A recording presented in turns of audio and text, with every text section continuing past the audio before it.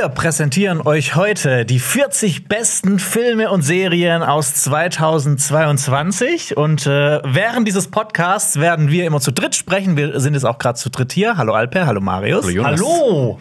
Hey. Wunderschön, wie du den Podcast begonnen hast mit Ja. einem Hallo. Hallo, Hallöle. Und genau, wir werden über die Filme und Serien sprechen. Ähm, wir haben aber auch noch zwei Gäste da, beziehungsweise unsere Gäste? zwei Co-Moderatorinnen. Co-Moderatorinnen.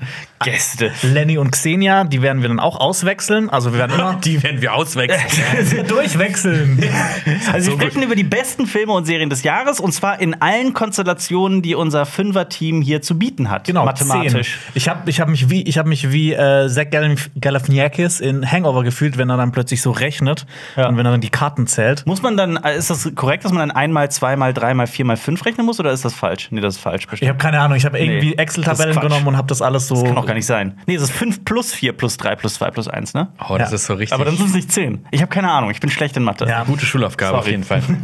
Für alle, alle Mathematiker da draußen und Mathematikerinnen sind gerade entsetzt, aber es tut mir und leid. alle anderen sind einfach nur verwirrt. Ja, ich auch. Ja, wir haben einige Highlights für euch mit dabei, über die wir teilweise gar nicht so viel gesprochen haben, beziehungsweise Oh ja. gibt es auch Filme, äh, die wir dann irgendwie viel später erst gesehen haben und dann noch gar nicht im Podcast bequatscht haben. Zum Beispiel so Sachen wie The Woman King, King Richard, äh, The Bear. Mhm. Und natürlich The Batman, Better Call Saul und House of the Dragon. Alles ist natürlich auch mit dabei. Ja. Und ja, wir sind da. Ich bin gespannt äh, auf heute, was ihr da so alles mitgebracht habt. Ja. Nee, ich bin nicht gespannt. Ich weiß, weiß natürlich, ja, was alles kommt. ja. Und äh, ihr hört einen Podcast von Funk. Das müssen wir sagen. Ja. Wir werden sonst Pflicht. Gefoltert. Ah, ja, absolut. Womit starten wir, Jonas? In dieser Dreierkonstellation. Du hast eine schöne Liste mitgebracht mit wunderschönen Filmen und Serien.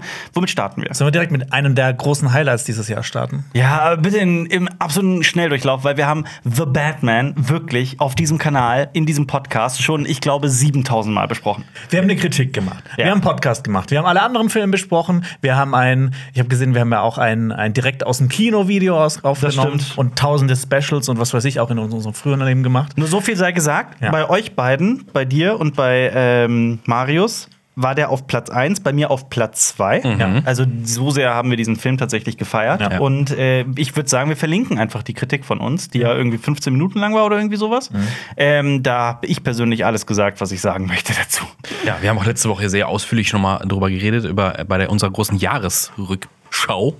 Da haben wir auch sehr viel über The Batman geredet. Ja. Aber es ist, ja, es ist ein geiler Film. Ist ein toller Film. Ich habe den noch vor zwei Wochen äh, noch mal auf Blu-ray geschaut und ich war ähnlich begeistert wie im Kino. Auch wenn es im Kino natürlich noch ein Stückchen geiler ist Ja. eigentlich. Ich habe hab mir direkt die Blu-ray von dir geliehen und will den jetzt auch am Wochenende gucken. Ja, genau, nur zum Hintergrund für euch da draußen. Ähm, wir haben so intern so jeweils so eine Top- und Flop-Liste gemacht zu Filmen und zu Serien und deshalb sagen wir auch zwischendurch immer so, der war bei Top äh, 1 bei Marius und mir und auch bei Top 2 Ja, ja. bei Alper zum Beispiel. Ja, Ja. ich glaube, das kann man sich denken. Aber ja. Verrückt, verrückt. Vielleicht denken auch alle, dass du voll das Brain bist, dass, dass du alles in deinem Kopf Ich weiß das ganz hast. genau. Ja, aber Jonas Maris, so wie ich die einschätze, ich als Mentalist. Top 1. Das Ja. ist Top 1. Wollen wir zum nächsten Film übergehen? Ich will noch eine Serie empfehlen, die hier nicht äh, draufsteht. What? Äh, nur weil ich gerade an Mentalisten gedacht habe. Mentalist. Fool, Fool Us. Ich bin wieder komplett im Fool Us-Rausch. Kennt ihr das? Du hast schon drüber gesprochen. Ja, du das hast mich auch ein bisschen angesteckt. Ich liebe es. Ich Ja. liebe es. Ja, das ist eine Penn and Teller. Zwei äh, äh, Magier, zwei Zauberer, die seit Jahrzehnten in Hollywood, äh, Hollywood, in Las Vegas äh, tätig sind und zu den besten Magiern der Welt zählen. Im Hollywood der Zauberer. Im Hollywood der Zauberer. Die haben halt so eine Show, da kommen halt Zauberer aus der ganzen Welt her und es geht darum, dass die äh, ausgetrickst werden. Die fin- versuchen herauszufinden, wie der Trick funktioniert. Ich will gar nicht so lange jetzt äh, hier äh, den Podcast derailen, aber ich bin wieder komplett im Fieber und guck wieder. Es macht Jede Spaß. Folge. Das, ist, das kann man auch sich so gut in so Häppchen anschauen, wenn man gerade irgendwas isst Weil oder es auch so. auf YouTube ist. Und Ja. Ich würde gerne sehen, wie du nächstes Jahr das Jahr mit deinem Zaubertrick eröffnest. Oh, sehr gerne. Das wäre schön. Wir kommen zu einem, einem, einem etwas ruhigeren Werk. der auch bezaubernd ist. Der ist sehr bezaubernd, eine gute Überleitung. Come on, come on. Mit Joaquin Phoenix äh, lief dieses Jahr im Kino. Und ja, es ist ein Schwarz-Weiß-Film über einen Mann, der eine Radiosendung hat und seinen Neffen quasi so begleitet dann durch den Alltag und so. Babysitted. Babysittet, genau, genau, weil äh, die Mutter ist äh, Verhindert. verhindert, genau. Und er passt ein bisschen auf und die nähern sich so ein bisschen an. Er ist ein bisschen distanzierter am Anfang und dann kommt er ein Wunder, eine wunderschöne äh, Freundschaft wird daraus. Er kommt mitten aus einer Trennung, ist Ja. in so einem sehr ähm, schwierigen State of Mind, wie Ja. man so schön sagt.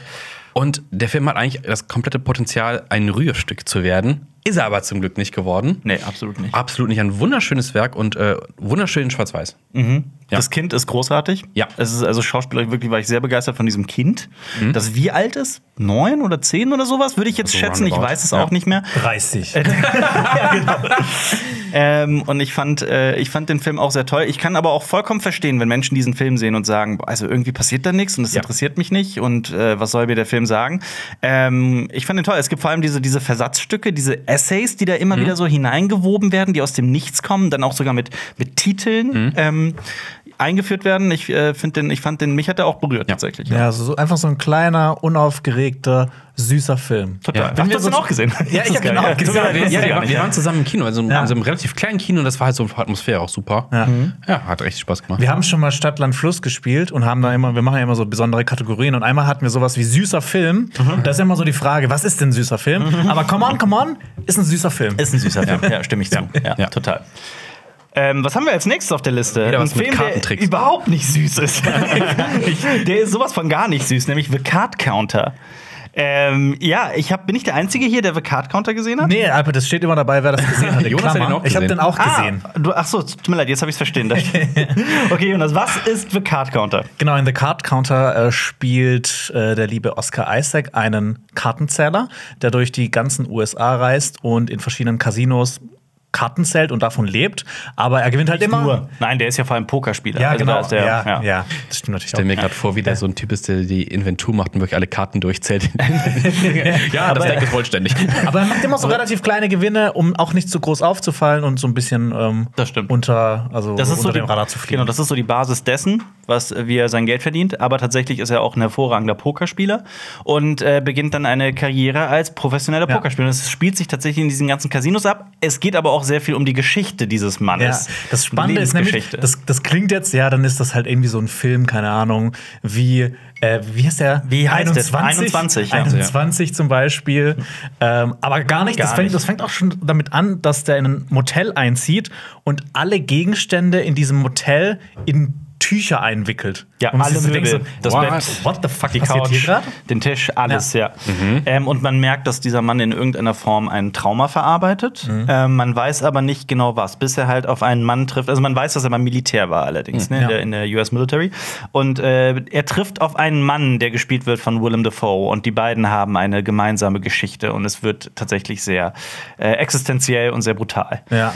Ähm, Also, das ist auch so ein Film. Ich finde, das ist so ein Film, du hast keine Ahnung, wo der hinführt. Du denkst erstmal so, okay, das ist halt so ein, irgendwie so ein Film, der spielt in Las Vegas und keine Ahnung, in diesen ganzen, in diesen ganzen Spielparadiesen. Spielhöllen. Genau, und dann geht's drum, ja, das ist dann so eine Geschichte von so jemandem, der dann so aufsteigt und plötzlich so richtig reich wird Äh, und eine, sowas. eine klassische Nee. Betrugsgeschichte, Ja. irgendwas. Äh, nee, ist, äh, der entfernt sich halt komplett vom Klischee, das stimmt. Ja.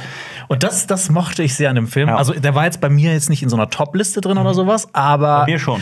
Ähm, ich finde alleine so die Figur von Oscar Isaac, die ist so undurchschaubar und spannend und mysteriös. Allein schon dafür lohnt es sich halt, den Film zu schauen. Auch weil Oscar Isaac dann halt auch grandios spielt. Auf jeden Fall. Und ähm, ich möchte, äh, es gab eine Sache, die mich an dem Film so ein bisschen gestört hat. Das war die äh, Figur von, äh, die von Tiffany Haddish gespielt wird.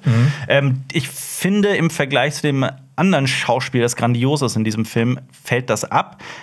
Aber den Regisseur sollte man kennen, nämlich Paul Schrader. Er wird immer wieder zitiert als der Autor von Taxi Driver, von Scorseses Taxi Driver. Aber tatsächlich macht Paul Schrader schon seit vielen Jahren echt viele Ah, ich finde diese Filme auch schwer einzuordnen. Das sind immer die Geschichten von so ähm, von, von Männern, das sind meistens Männer bisher, ähm, die in irgendein, also es geht immer um die Mortalität dieser Männer, um äh, es geht immer so um ganz Existenzielles, um ähm, es sind sehr es ist ein sehr harter Blick auf die Welt, wie ich finde. Diese Filme sind auch schwer einzuordnen und wirklich keine Mainstream-Ware. Ich habe zum Beispiel First Reformed mit ihm gesehen. Ich habe, glaube ich, die erste halbe Stunde davon gesehen Ja. und habe mich eingeschlafen. Hab ich nicht nee, ich will den auf jeden Fall noch schauen, weil ich den mega ei. interessant fand. Aber ich war, ich war einfach nicht in der Stimmung dafür. Ja. Ich hoffe, das war nicht im Kino. Das war nicht im Kino. Im Kino bin ich noch nie Weil, weil eingeschlafen. First Reformed habe ich echt gefeiert. Der ist mit Ethan Hawke in der Hauptrolle. Ähm, ja, ist aber ein sehr besonderer Filmemacher. Also man muss auch drauf stehen. Also ich kann auch verstehen, wenn man da keinen Zugang zu findet. Ja, ich glaube, bei The Card Count ist es ähnlich. Ja. Ich glaube, manchen Leuten gefällt er richtig gut und andere Leute finden er extrem scheiße. Ich glaube auch, ja. Äh, ich fand den sehr, sehr gut und ich habe dem, äh, der war tatsächlich auf Platz 6 meiner Top 10. Ja. Ähm, fand, find den auch, ich finde so, das ist für mich persönlich so der unterschätzteste Film dieses Jahr. Ja, das, der, der flog richtig unterm Radar. ist- Auch so ein bisschen wie Command Ja. Command. Also die beide waren ja alle relativ Ja. klein. Das ist wahr. Jahr. Ja. Auch ein kleiner Film. Noch kleiner, noch kleiner, viel mit, mit kleiner. sehr kleinem Budget ist Beyond the Infinite Two Minutes. Wir haben den auf dem Fantasy Filmfest gesehen. Ja. Ein wirklich ein, ein kleiner, super witziger Film über eine Freundesgruppe, die ein Café, also einer davon hat ein Café und die stellen fest auf dem Monitor, also das ist so ein Monitor, der da steht, äh, der ist verbunden mit der Wohnung da drüber und die Wohnung da drüber ist zwei Minuten in der Zukunft. Ist das so? Die Wohnung ist in der Zukunft? Ich dachte einfach, Nein, das sobald Café man ist Das, zwei- ist, das ist Café ist zwei Minuten in Zukunft und wenn die nach oben gehen, ja genau, können sie sehen, was unten passiert in Zukunft. War das so? rum. Ich So hab's- rum. ich habe Es ist auf jeden tatsächlich. Fall, es ist auf jeden Fall ein bisschen verwirrend. ja, ja. ja, genau. Aber es ist super spektakulär, was man aus dieser kleinen Story, aus diesem Kammerspiel eigentlich gemacht hat. Es ist absurde Sachen passieren. Ja, also geringstes Budget, gefilmt mit einem Handy. Teilweise rauscht Ja. das Bild total. Also wirklich. Das sieht nicht gut aus, Das der sieht Film. absolut nicht gut aus. Gerade so in Lowlight-Situationen ist da ein krasses Rauschen drin. Ähm, aber das Drehbuch ist halt so genial und so durchdacht und hat so viele, ne, also da werden so viele Ebenen noch immer wieder auf diese, auf diese alberne Grundidee draufgepackt Ja. und es wird einfach immer absurder. Und irgendwann hast du Bild in Bild in Bild in Bild in Bild in Bild und jeweils zwei Minuten immer in der Zukunft und es wird immer irrer und immer irrer. Und trotzdem findet das einfach. dann irgendwie am Ende dann äh, schließt sich der Kreis und Ja. das, ist, das zeigt einfach nur, wie großartig dieses Drehbuch war. Das ist auch, es gibt auch so ein paar Momente im Film, wo man einfach sieht, was passiert so in der Zukunft. Aber du kannst doch überhaupt gar nicht abschätzen, was da passiert. Aber umso weiter sich das so aufdröselt und sich entfaltet, äh, merkt man so, boah, das ist eigentlich richtig cool, das ist richtig cool, das macht richtig Spaß. Und du denkst so, ja, komm, zwei Minuten, das ist nicht so viel. Wie, wie kann das jetzt alles da passieren, immer in diesen Abständen? Das ist großartig. Und der Tipp ist äh, natürlich, sich de- den Abspann anzugucken, denn da läuft so ein bisschen Making-of. Wie sie das Ganze gedreht haben, das ist schon so, das ist so. Das war das nicht Schön so eine, recht anarchistisch, Also erstmal, das der ist ist aus, ist der aus Japan, Japan, der Film? Das ist Japan. aus Japan, ne? Also Ja. ist das nicht so eine kleine japanische Comedy-Gruppe gewesen, die äh, einfach spontan beschlossen haben, weil der eine von denen irgendwie ein sehr, sehr gutes Drehbuch geschrieben hat, das Ja. zu verfilmen, so ganz spontan. Der eine hat irgendwie einen Café und das fühlt sich halt auch genauso an. Und das Ja. meine ich äh, als Lob, weil das ist so ein unheimlich sympathischer kleiner Film. Ja. Mich freut so sehr, dass der so erfolgreich war. Ja. Auf Amazon Prime ist der jetzt, Ja. ne? War Genau. auch Publikumsliebling. Ja. Sowas. Also ja, Zu Recht. zu Ich Recht. finde, was, was bei dem Film auch äh, richtig merkt, ich habe es glaube ich schon tausendmal erzählt, aber man merkt richtig, wie viel Spaß die Leute hatten, diesen Ja. Film zu machen. Und man bekommt dann selber auch Lust, auch sowas zu machen. Ja, ne? Einfach so, um diesen Spaß zu haben, den die da auch gehabt haben. Ja. Deshalb genau auf Amazon Prime gibt es den gerade. Sehr Ja. empfehlenswert. Ja. Und auch, der ist auch wahnsinnig kurz, ne? Ja. Ja. Ich glaube 80 Minuten Zwei oder sowas. Minuten. Das wäre. Ja. Ich muss aber sagen, es gibt eine Sache, die hat mich ein bisschen gestört an dem Film, aber ist noch minimal. Ja. Ich finde, der braucht ein bisschen, um in Fahrt zu kommen. Und der erzählt, also diese, diese Grundidee mit diesen zwei Minuten, das erzählt er ein bisschen zu lang, also zu oft. Also das geht am Anfang des Films zu lang drum.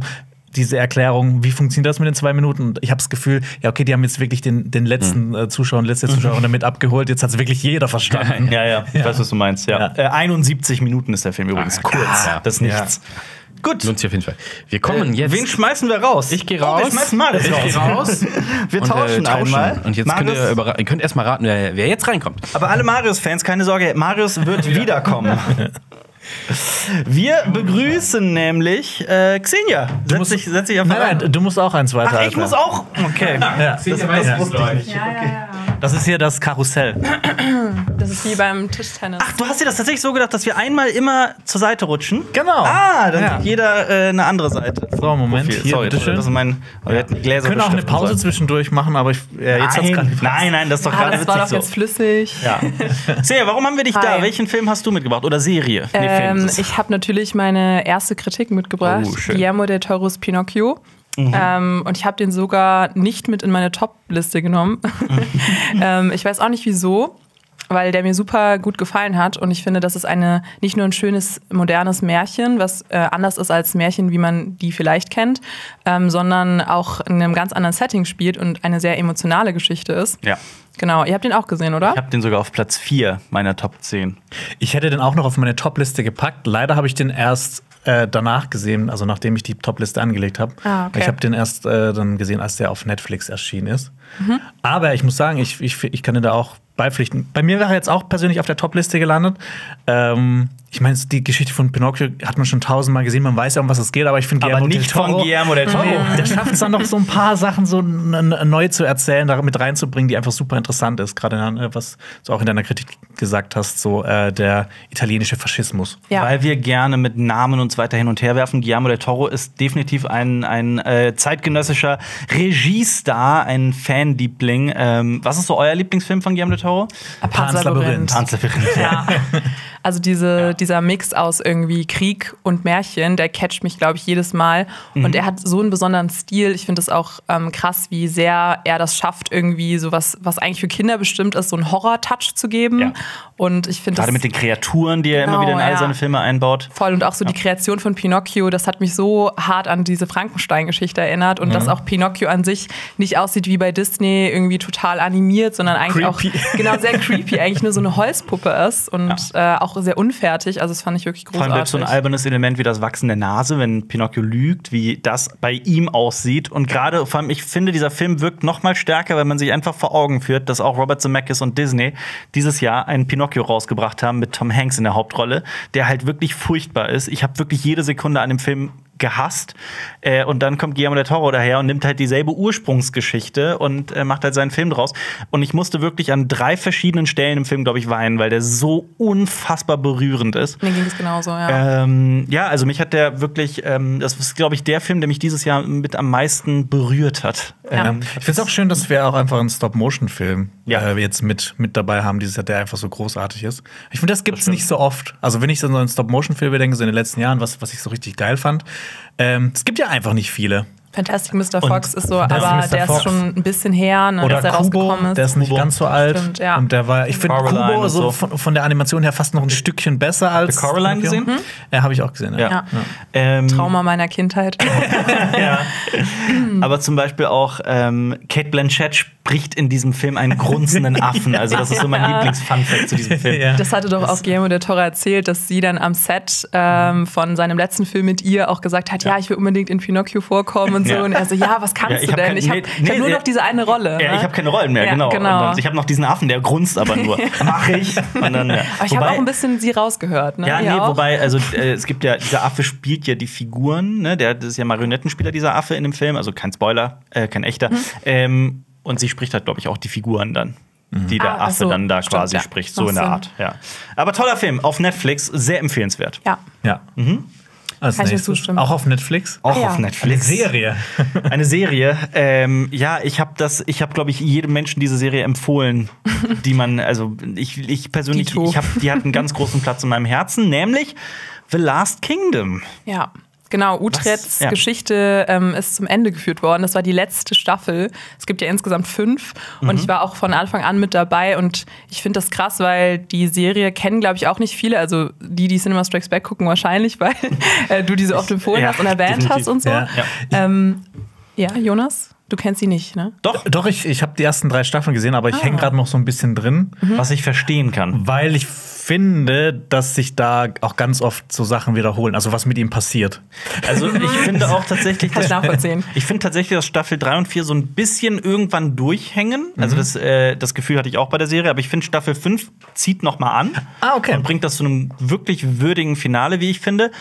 Auch wenn ich jetzt sagen würde, Staffel 5 ist nicht die beste in der gesamten Serie, bei weitem Nee, nicht. Die ersten paar Staffeln finde ich schon immer noch Die am ersten zwei, stärksten. ja, genau, die sagen. ersten zwei. Aber ich Ja. finde auch, die letzte Staffel hat es halt geschafft, diese Figurengeschichte von den Hauptfiguren, die du auch begleitet hast, Ja. über die Jahre zum Ende zu bringen. Und das hat mich dann emotional auf jeden Fall sehr mitgenommen. Mhm. Ähm, obwohl ich auch finde, dass so dieser ewige Konflikt, der immer wieder ausbricht, ne, so zwischen den Dänen und also den Wikingern in der Serie und äh, eigentlich so diesem England, was noch nicht wieder, also was noch nicht gegründet wurde, Mhm. ne? also äh, das alte Wesse- Wessex ähm, und was ich auch die, an der die sechs, sieben verschiedenen Königreiche, die es da Genau. gab, wie viele auch immer es waren. ja, und äh, was ich auch an der Serie liebe, sind so die Namen. Also ich finde, ganz ehrlich, da heißt jeder Ethelflaed. genau Ethelflaed, Ethelhelm. Sigtrigge und dann bin ich immer so, wow, das ist so cool. Ich habe Ja, das da Gefühl, ich gucke mir so ein historisches Dokument Namen haben an. sich zurückentwickelt. ja. so ungefähr wie bei halt George R. Martin. Ne? Ja. Also da heißt auch jeder Aegon. Ähm, ja, und ich, ich finde auch, also eine Sache muss ich der Staffel allerdings auch ähm, ankreiden. So die, die, welche Figur für welches Alter verkauft wird, ist ein bisschen albern. Mhm. Also da wird wirklich eine 28-Jährige als Großmutter verkauft. So, Ja. die angeblich Ist die dann auch 60 so ist oder sowas. Die ist Ja. natürlich so geschminkt. Ja. Und dieses, ey, dieser Aging-Prozess in der Serie ist nicht der beste. Also es ist Nee. absolut nicht Auch glaubwürdig. die zu keinem Hauptfigur, da denkt man sich schon irgendwann so, okay, die grauen Strähnen, die hätten schon ist- noch mal prominenter sein können. Alex Dreyfus heißt der Schauspieler. Ja, ne? da steht so genau. neben ihm eine Schauspielerin, die wahrscheinlich im echten Leben genauso alt ist wie er. Zumindest sieht sie so aus. Und dann Äh, wird, wird Utritt. Dann. neben Utrecht, genau. Ja, Ja, okay. Und aber, aber dann, ne, dann wird, steht eine Schauspielerin neben ihr, die wahrscheinlich im echten Leben genauso alt ist wie er. Mhm. Und es wird aber so verkauft, als wäre er ihr Vater oder teilweise sogar Großvater. Also es ist teilweise richtig albern. Aber, ne, also das meine ich nur so hier als Gag. Ich fand das überhaupt nicht schlimm. Ich Okay. finde trotzdem, dass diese Serie sehr sehenswert ist. Vor allem jetzt, wo die wirklich abgeschlossen ist, kann man die in einem Rutsch gut durchgucken. Ja. Ähm, hat ein paar wirklich grandiose Szenen, grandiose äh, Storylines und Staffeln. Ich äh, finde die wirklich toll. Und gerade weil sie so unter dem Radar läuft. Also ich finde, für so eine Netflix-Serie ist das Set-Design auch richtig gut und es zieht einen wirklich in diese Zeit. Und das finde ich auch äh, sehr markant. Das habe ich nicht oft, weil ich bin oft dann aus der Immersion rausgezogen, wenn irgendwas vielleicht sich ein bisschen off anfühlt, was so irgendwie, weiß ich nicht, so die Darstellung auch dieser Zeit angeht. Und ich fand, das war dann schon gut repräsentiert. Also egal, ob es jetzt um Sprachen geht oder, also ich bin, ich bin jetzt auch keine Historienexperte, keine Ahnung, ob die da so damals so aussahen, aber auf mich hat es, Es einen wirkt authentischen, so, auf jeden genau, Fall. Es wirkt ja. Also da hat die Look. Inszenierung auf jeden Fall gepunktet, stimme ich zu. Ja. Ich glaube auch nur so, eine, nur so ein Grund, warum die so ein bisschen in Anführungsstrichen noch untergegangen ist, war, weil die halt auch so parallel mit Vikings lief.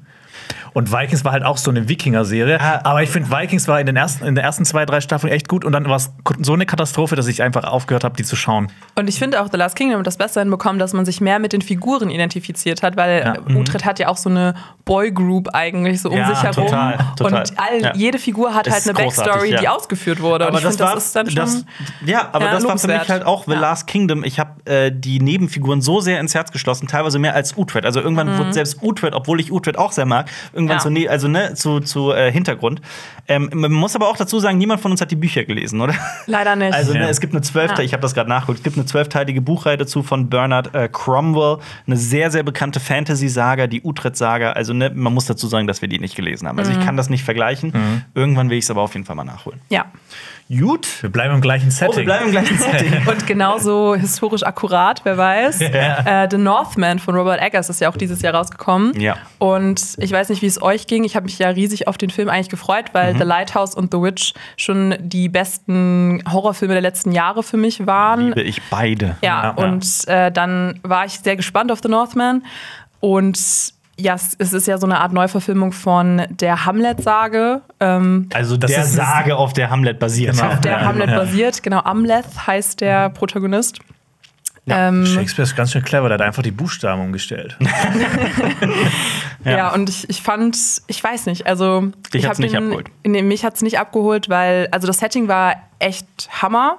Ähm, ich mochte das auch, dass man so in diesen rachsüchtigen Wikinger versetzt Mhm. wurde und dann so diese Welt aus seiner Perspektive gesehen hat. Aber ich fand das Ende hat, also es ist, keine Ahnung, finde ich umstritten ein bisschen, weil man ja auch sieht, wie er dann, also ich will jetzt nicht spoilern, aber auf jeden Fall ist das Ende ein bisschen ähm, unambivalent für mich gewesen. Und das hat mir dann so ein komisches Gefühl Mhm. Gegeben für auch dich, im was, Kino. was ich immer wieder höre, ist, dass so die zweite, ohne was zu spoilern, ne, die zweite Hälfte des Films ein bisschen dich nicht genug abgeholt hat, wie der, wie der Beginn des Films? Ja, genau. ich also verstehen. ich habe mich sehr reingezogen gefühlt und dann am Ende ähm, habe ich so ein bisschen gedacht, okay, war es das jetzt? Und ich hatte eine krasse Diskussion mit Freunden, die den Film richtig schlimm fanden irgendwie, also wegen seiner Brutalität, Mhm. die dann aber nicht richtig eingeordnet wurde. Das habe ich aber dann so ein bisschen argumentiert, auch von der Seite von Robert Eggers, dass er eben einen sehr, sehr historisch akkuraten Film machen wollte. Definitiv. Und wir auch ähm, das alles aus der Sicht des Protagonisten sehen, der ja damals auch an sowas geglaubt hat, wie Mythologie und Valhalla und sowas. Mhm. Ähm, genau, deswegen. Wie, wie hat der euch gefallen? Mich, äh, mich hat der komplett umgehauen. Also Ja. ich habe den auch äh, bei Platz 3 stehen in meiner Top 10. Okay. Ähm, ich fand die mythologischen Einflüsse Flüsse aus der nordischen Mythologie unglaublich äh, krass umgesetzt. Sowas habe ich persönlich einfach auf der Leinwand so noch nicht gesehen. Und ähm, ich fand den atemberaubend. Ja, ich ich glaube, ich habe auch noch nie einen Film gesehen in dem Setting, der so immersiv und so atmosphärisch war. Ja. Und ihr habt es auch schon gesagt, man wird richtig in diesen Film reingezogen. Und gerade so, ja, die erste Hälfte finde ich auch die bessere Hälfte. In der zweiten finde ich, gibt es dann auch so ein, zwei Durchhänger. Ähm, Obwohl Anja Taylor Joy eigentlich für mich in jedem Film immer die, Ja. also der Fixpunkt ja. ist. Aber ich finde, Ja. die erste Hälfte des Films, das ist so. Da ist keine Sekunde zu lang eine Einstellung. Das ist alles so perfekt getimed Und- und, das stimmt. abgestimmt und die Musik und die Kameraarbeit und alles und das Schauspiel, das ist so Ich großartig. könnte noch ein eigenes Kapitel aufmachen für Alexander Skarsgård. Das ist unglaublich, Das dieser. Mann. Das ist wirklich Und unfassbar. allein wie der aussah, also es also sah der wirklich aus wie äh, ne, so, ein, so, ein, so ein Wikinger, irgendwie so übelst buff. Habe ich auch Ja, gedacht, wow, unglaublich, ja. krass. Auf jeden Fall. Und ich finde auch am letzten, in der zweiten Hälfte gab es so einen Shot, der ist mir jetzt auch immer noch im Kopf, obwohl es schon Monate her ist, dass ich den Film geschaut habe. Also es sah wirklich aus wie in, in der Hölle. Also es war so Ja, heftig total. inszeniert. Auf jeden also Fall, ja. das muss ich den Film lassen. es, ja, es war ja quasi die. Ja, genau. Was ich auch richtig geil fand, war, ähm, äh, die- ich, äh, ich hatte manchmal so das Gefühl, da wurde richtig so der, der Steinzeitmensch in mir Auf jeden angesprochen. Fall, ich wurde ja. die ganze Zeit gedacht so, oh, oh. so richtig so diese, diese richtig toxische Männlichkeit ist da in mir hochgekommen. Und ich hab mir auch gedacht, so, wieder- ich zieh jetzt in die Schlacht. Wo du das gerade sagst und auch wieder mit Willem Dafoe, ne? Das, mit äh, Willem Dafoe. Gerade die Szene mit äh, Amleth, seinem Vater und Willem Dafoe zu Beginn des Films. Äh, ja, ähm, ja, Körpergeräusche und Körperflüssigkeiten spielen bei Robert Eggers tatsächlich immer eine Rolle in all seinen Ja. Filmen. Ja, das stimmt. Ich vielleicht genau deswegen hat es vielleicht ein bisschen auf mich nicht so diesen Affekt gehabt. Ich weiß nicht, ich, ich war, ähm, mich hat der Film auf jeden Fall nicht so mitgenommen wie jetzt so ein Lighthouse oder so, der für mich noch mal auf einer anderen Ebene äh, funktioniert wie The Northman. Ich, also ich habe mich umgeguckt im Kino, wo ist die nächste Axt? Ich wollte direkt in die Schlacht. Im Hochsommer ist, war das, Im ne? Hochsommer, ja. ja, ich war auch mit einem Kumpel drin, ich hatte ein bisschen Angst danach äh, vor ihm. Ja. Ich finde es auch ganz witzig, dass Robert Eggers ja so dieser Regisseur ist, in dessen Filme einfach gepupst wird. Ja, das meinte ich ja mit den Körperflüssigkeiten, Ja. Körpergeräuschen. ähm, ja, ich äh, bin. Also das ist ich, euer Fazit wegen dem, wegen den Pupsen. Wegen dem Ja, Furzen das ist es äh, äh, nee. okay, alles 10 von klar. 10. Aber ich, also ich bin, äh, also wenn Eggers draufsteht, äh, sein Bruder, den darf man ja auch nicht vergessen, den kongenialen, wie hieß der nochmal? Ich habe das letzte leider vergessen. Der schreibt doch, schreibt er nicht alle seine Filme mit seinem Bruder gemeinsam? Wobei den nicht. Oder Also verwechsel ich sie den dann da? nicht die Eggers Br- Brothers. Nolan Vielleicht. Brüder. Nee, warte mal, das will ich gerade nachgucken. Vielleicht irre ich mich. Ich habe noch nie von dem gehört, glaube ich. Ich aber irre mich. Ich Eggert, glaube, ich wette, ich irre mich. Genau, wie heißt der? Ro Robert und ich, Edward.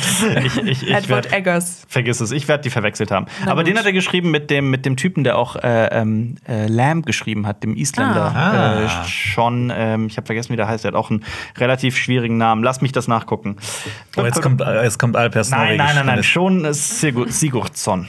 Sigurdsson. Ah ja, okay. genau. Den äh, darf man auch nicht vergessen. Das ist so ein, auch so ein aufstrebender äh, äh, Autor in äh, allgemein in der Filmwelt, würde ich mal vermuten, weil der hat auch Lamb gemacht und Lamb ist, war auch ein sehr interessanter Film. Ich mochte Lamb auch. Ja? Ja, also Auch. ich, ich finde immer so skurrile Horrorfilme, die kriegen mich dann doch immer. Also Mhm. Ja. deswegen. Ich mag auch The Lobster. mit dem so besten Mhm. Twist, den ich in den letzten Jahren gesehen habe in Lamb. Wirklich. Also, ne, ohne zu spoilern. empfehlenswert. Ähm, das nächste auf der Liste, was ich hier sehe, da steht auch nur mein Name, weil ich der Einzige bin, der das gesehen hat, scheinbar, obwohl ich das auch an jeder Ecke empfehle, nämlich die Apple TV Plus Serie Severance. Ich glaube, das ist schon das Problem dabei. Apple TV Plus. Ja, also viele haben ich, will, nicht. ich, ja. ich will nicht damit sagen, dass das scheiße ist. Ich finde, die haben ein geiles Programm, aber es haben halt nicht viele. Das stimmt. Und ich glaube auch tatsächlich, dass das so ein bisschen mit daran liegt, ähm, was viele daran, ähm, ja, ich glaube, weil der Name Ben Stiller über dieser Serie steht, denken viele, das wäre was anderes, als es ist. Oder viele strafen diese Serie vorher zu Unrecht ab, weil äh, Ben Stiller ist tatsächlich der Showrunner dieser Serie. Ähm, Sev Severance dreht sich um eine sehr dubiose, ominöse Firma, von der man auch nie erfährt, was die eigentlich genau macht, ähm, in der Menschen arbeiten, deren Bewusstsein chirurgisch zweigeteilt wird. Also sobald du, da ist irgendwie so ein Science-Fiction-Mechanismus, der auch nicht erklärt wird, sobald du den, den Fahrstuhl betrittst von dieser Firma, geht der zweite Teil deines Bewusstseins an der wacht quasi auf und arbeitet acht Stunden am Tag oder wie lange auch immer. Und abends, wenn du dann wieder den Fahrstuhl betrittst, um das Firmengelände zu verlassen, geht wieder das andere Bewusstsein an. Okay, das heißt, Das heißt, du du hast musst dir deine das so- Arbeitswelt getrennt von deiner privaten Welt. Das heißt, du musst dir Ah, das so vorstellen, du, du, so wie du hier sitzt, beschließt, dich äh, bei dieser Firma anzuheuern und fortan lebst du nur noch dein Privatleben aus, hast aber halt quasi dir fehlen jeden Tag acht Stunden deines, deines Lebens, weil du halt. Also ne? das ist quasi die, Klingt so die utopisch. perfekte, die perfekte Work-Life-Balance. Ja, du sagst utopisch. Ähm, dieser, diese Serie durchleuchtet diesen, äh, dieses, diese Idee aus so vielen Winkeln und Perspektiven, dass was ich mir gar nicht vorstellen konnte. Weil ich, du guckst die erste Folge und denkst, ja, okay, interessante Idee, aber wie soll sich das für eine gesamte Serie Tragen. denn tragen? Ja. Pustekuchen. Diese Serie schafft es und beweist es, Geil. weil einfach jede Folge sich dann steigert und steigert und steigert und ähm, da so eine Spannung aufgebaut wird, bei der ich sogar selbst in der letzten Folge da saß und wirklich mir gedacht habe, so, wie haben die das geschrieben? Das ist ja unglaublich. Ähm, mich hat die Serie auch vom gesamten Look, vom Schauspiel, von der Atmosphäre, von, von in wirklich jedem Aspekt so überzeugt. Für Ähm. mich war es somit die beste Serie, die ich dieses Jahr gesehen habe. Wer spielt dann nochmal die Wow. Hauptrolle? Ja, Kennt man auch, ne? äh, Den habe ich auf dem Spielt doch Ja, bei Parks and Recs. genau. Äh, auf der Werbung, auf, auf der Werbung. auf der Werbung, auf Ähm, dem Poster? Auf dem Poster habe ich den gesehen. Ja, wie der kommt mir nochmal? bekannt vor. Ja, ich vergesse immer seinen Namen. Es tut mir leid, obwohl es ja eigentlich ein super Adam. Schauspieler ist. Adam Scott, ja. Adam. Ja. Adam Ja, Scott. okay. Ist das jetzt telepathisch gewusst? Oder? Nee, ich wusste Adam, aber so, okay. ich wollte Adam Levine sagen, aber Adam Levine ist es nicht. Oh, Adam Levine ist gecancelt. Was man aber auch nicht vergessen darf, in dieser Serie spielen auch Christopher Walken und äh, John Tor äh, äh, Turturro mit. Der Ach, cool. äh, zum Beispiel Ressus in Big Lebowski spielt. Ich finde auch so, die, die Serie, diese Grundidee hört sich so ein bisschen auch an wie, ähm, es geht so in eine Richtung wie Vergiss mal nicht. Wo dann quasi auch Sag, nenn den nicht, vergiss mal nicht den Film. Eternal Sunshine of the Spotless Mind. Viel schöner. Okay. Äh, tatsächlich ja. Es Weil ist auch so, so, eine, so, eine, so, eine, so eine so absurde Grundidee nimmt und die wirklich so, Ja. so interessant beleuchtet und es äh, Genau. auch mal so komplett zeigt. Und, Und- das und ist halt- auch ein großartiger Film ist. Und Ja. es wirkt auf wie ein Kommentar auf so Arbeitskultur Total. wahrscheinlich. Zu ne? 100 Prozent. Zu 100 Prozent. Und äh, ich finde diese Serie einfach wahnsinnig intelligent, gleichzeitig aber auch sehr unterhaltsam und witzig und äh, äh, herzzerreißend. Also da auch ähm, diese gesamte, also so wie es geschrieben ist, ist es einfach fantastisch. Also wirklich absolut fantastisch. Und Da wird die, ja, denke ich, auch mal noch eine zweite Staffel die kommen, kommt oder? Jetzt, die kommt jetzt bald sogar. Also ähm, War auf deiner Top 2 sogar. äh, auf jeden Fall. Und das äh, Nicht schlecht. Ja. Vielleicht überzeugt es mich genug, damit ich mir Apple Plus ho- hole. Weißt du was? Ich, ich hole mir, glaube ich, jetzt- Sommer kommt übrigens Staffel 2. Okay. Ich hole mir, glaube ich, in den Weihnachtsferien hole ich mir Apple TV Plus und hol, äh, guck mir dann noch For All, For All Mankind Staffel 3 an und noch äh, Severance. Unbedingt. Ja. Unbedingt. Damit so, dann verabschiede ich mich jetzt. tauschen wir wieder die Plätze und ähm, äh, Xenia und ich bleiben drin und Lenny kommt noch mit rein. Hallo Lenny. Hallo Lenny. Tag, na? Na? Freut uns sehr, dass du da bist. Hier mich auch. Mensch, also. Das, das wird ja ein richtiges, ich bin, ich bin jetzt schon ein bisschen verwirrt, äh, aber ich finde es find schön. Und dann haben wir wirklich mal in allen Konstellationen gesprochen. Ja, und es ist auch so Bewegung drin. Ne? Also ich habe, glaube ich, mich noch nie so viel bewegt hier im Set. ähm, ich bin schon im Schwitzen hier. Das ist Workout für die Weihnachtsferien. Ja, und, ich, und, und es macht auch Spaß, euch hier bei zuzugucken. Von da. Es ist Ja. wirklich. Äh, Für alle Leute, die jetzt nur zuhören oder die es nicht sehen, wir haben so, ein, wie so einen kleinen Wartebereich äh, im, äh, außerhalb der Kamera, wo dann, wo dann Alper und Marius gerade sitzen und äh, zuschauen. ja, das ist so, eine, so wie, beim, wie beim Fußball einfach so auswechseln und so. Und dann, wenn, wenn wir nicht mehr können, dann. Ja, wir wurden ja auch schon äh, als Gäste nur bezeichnet, Ja, als stimmt, Auswechselspieler, ne, Jonas? Ja. Da habe ich mich sehr gewertschätzt gefühlt hier. Nein, Spaß. Tut mir leid. Aber ein Film, den man äh, wertschätzen kann, ähm, Stimmt. das ist äh, Athena. Ja. Den hat äh, Jonas mir sehr ans Herz gelegt. Ja, das, äh, der ist tatsächlich bei Xenia und bei mir auf der Top-Liste, auf der Top 10 dieses Jahr Ja. aufgetaucht. Lenny hatte den zu dem Zeitpunkt nicht gesehen. Hättest du den jetzt noch auf deine Liste gepackt oder nicht? Tatsächlich nicht, weil es gab einfach so viele andere starke Filme dieses Jahr, aber ich fand den super und das liegt Ja. nicht nur an der großartigen Ja. Anfangssequenz, das eine zehnminütige Plansequenz ist und die ist der, die ist der Ja. Wahnsinn. Hammer. Die ist wirklich, also es ist Genau. boah. In dem Film geht es ja eigentlich um so einen Straßenkrieg, in den zwei Brüder verwickelt werden. Punkt. Und den gibt es gerade auf Netflix. Ich habe den durch Zufall in irgendeinem Podcast mal gehört und habe gedacht, ja gut, den gucke ich mir mal an. Äh, ich gucke ich mir mal den Anfang an. Ich habe schon gehört, der soll extrem krass sein. Aber wie krass der dann ist, Ja, ich habe noch nie gesehen. ich war Also, auch sprachlos. Selbst also, so Filme wie Children of Man haben ja auch schon so längere Plansequenzen, also ohne Schnitt quasi so Kameraeinstellungen oder Kamerafahrten. Ähm, aber so wie das hier gezeigt wurde, das war unfassbar. Und wie das verwickelt wurde mit der Kameraführung und dieser wirklich auch wieder immersiven Art des Filmens und gemeinsam mit dieser Geschichte von den zwei Brüdern, die sich dann ja auch äh, ne, in einem Konflikt geraten und dann das alles kombiniert mit so dem Thema Polizeigewalt und auch so ziviler Ungehorsam, fand ich echt krass. Also vor allem so für so einen Underdog-Film auf Netflix, den man nicht auf dem Schirm hatte. Also ja, hat auf, bei mir äh, Top 6. Ja. Habt ihr Les Miserables gesehen? Das ist ja vom gleichen Regisseur und der hat mich auch sehr dran erinnert. Du meinst Nee, nicht vom gleichen Regisseur, vom ähm, Äh, Das Musical? nein, nein, nein, der französische Film. Ah, ah, okay. Les Miserables. Der, der auch in der Ähm, Hochhaussiedlung stattgefunden hat. Hochhaussiedlung, wo es auch um stimmt, drei stimmt, Cops geht, um stimmt. so Den hab ich leider nicht gesehen, um zwei äh, korrupte Cops und einen, der da rein äh, mit reingezogen wird. Quasi auch so ein ähnliches Thema, aber anders erzählt. Ne, Er erzählt eine ganz andere Geschichte. Aber spielt auch in so einem äh, Banlieue. Kann ich auch sehr empfehlen. Fand ich auch einen extrem guten Aber Film. ich fand hier auch dieses Set-Design wirklich, wirklich super und es ist auch wirklich so dicht inszeniert. Ja. Also es ist halt. Ich habe halt viel gelesen, dass, dass, dass viele sagen so, ja, die, diese ersten zehn Minuten sind großartig und danach flacht es ein bisschen. Aber ich finde es gar nicht. Ich finde, es wird immer, es wird ja auch spitz, die ganze Situation spitzt sich auch immer weiter zu. Und ich finde, diese Hochhaussiedlung wirkt halt wirklich wie so eine Bastion halt Das, auch. das ist ja auch das Ende von dieser zehnminütigen Plansequenz am Anfang. Äh, das endet äh, auf so einem Bild, wo dann auch, glaube ich, der Filmtitel drin steht. Und dann äh, si- sieht man so ganz viele Leute, wie die halt quasi so Barrikaden aufbauen. Und das sieht dann aus wie so Burgzinn auch. Ähm, diese, diese, diese Architektur. Und die stehen da wie so die Avengers, finde ich, irgendwie. Äh, also, ja, ich finde auch immer, ich habe da großen Respekt vor, wenn es diese One-Shot-Szenen gibt, wo alles durchchoreografiert ist. Also selbst wenn da mal ein Schnitt reingeschmuggelt wird. Ähm, Also deswegen, das alleine verdient einen Platz in der Top 10. Aber genau, der Film hat mich halt auch mitgenommen, also auf einer ganz anderen Ebene auch nochmal, äh, weil es eben um, auch um diese Familiengeschichte geht und auch um diesen Konflikt. Was macht man, also gerade jetzt, wenn ne, die Black Lives Matter-Bewegung ist ja auch immer noch ein Ding und äh, wenn man sich das dann veranschaulicht, okay, das kann auch da passieren und wenn dann irgendwie Polizei und äh, ja so eine Art Milieu aufeinandertreffen, was dann halt passieren kann. Also ja. Das Schon krass. super. Und dann halt eben auch noch mit den beiden Seiten, dass sie dann wirklich so aufeinander clashen. Mhm. Und äh, das finde ich, find ich super, dass sie das Ja. so bis ins Detail dann auch auf beiden Seiten Mhm. so beleuchtet haben. Das Einzige, was man bei dem Film auf jeden Fall nicht findet, ist äh, Comic Relief. Das ist nämlich der Oh ist ja. sehr ernst und sehr düster und sehr brutal und äh, niederschmetternd. Ja, also, da muss man sich so eine stille Minute für nehmen. Ja, Dafür gibt es Comic Relief in äh, einem anderen Film, ähm, nämlich Rheingold. Und ich glaube, ich bin auch äh, die Person, die diesen Film hier, hier so ziemlich am meisten gehypt hat, auch wirklich, als er rausgekommen ist. Ich habe hier so jedem gesagt, boah, guckt euch den an.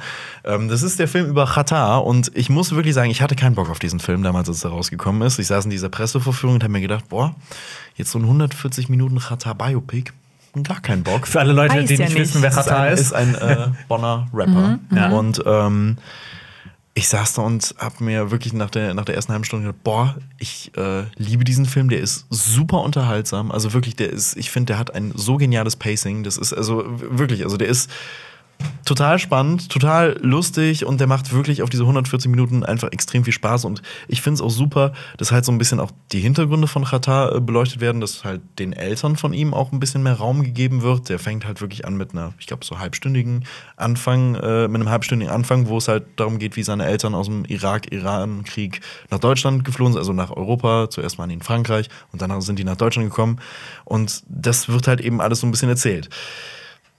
Ich glaube, die Kritik, äh, die du an diesem Film hast, die habe ich auch, aber die ist bei mir nicht so, wertet So nicht so rein. Hoher Stellenwert. So, ja, aber was ist deine Kritik an diesem Film? Also ich hatte auch voll viel Spaß mit Rheingold, aber ich hatte so ein paar Probleme irgendwie mit diesem Changieren zwischen so Biopic und so ein bisschen verherrlichendem Gangster-Drama, was dann auch noch irgendwie ab der zweiten Hälfte anfing. Und ich hätte mir, glaube ich, gewünscht, dass der Film so ein bisschen kritischer mit Rata ins Gericht geht. Gerade das Ende hätte für mich noch mal mehr sitzen können, wenn ähm, da mehr gezeigt wird, äh, dass auch Rata selbst das so ein bisschen bereut vielleicht oder ähm, dass der Film sich nicht ein bisschen angefühlt hat wie von Rata so selbst äh, geschrieben oder initiiert.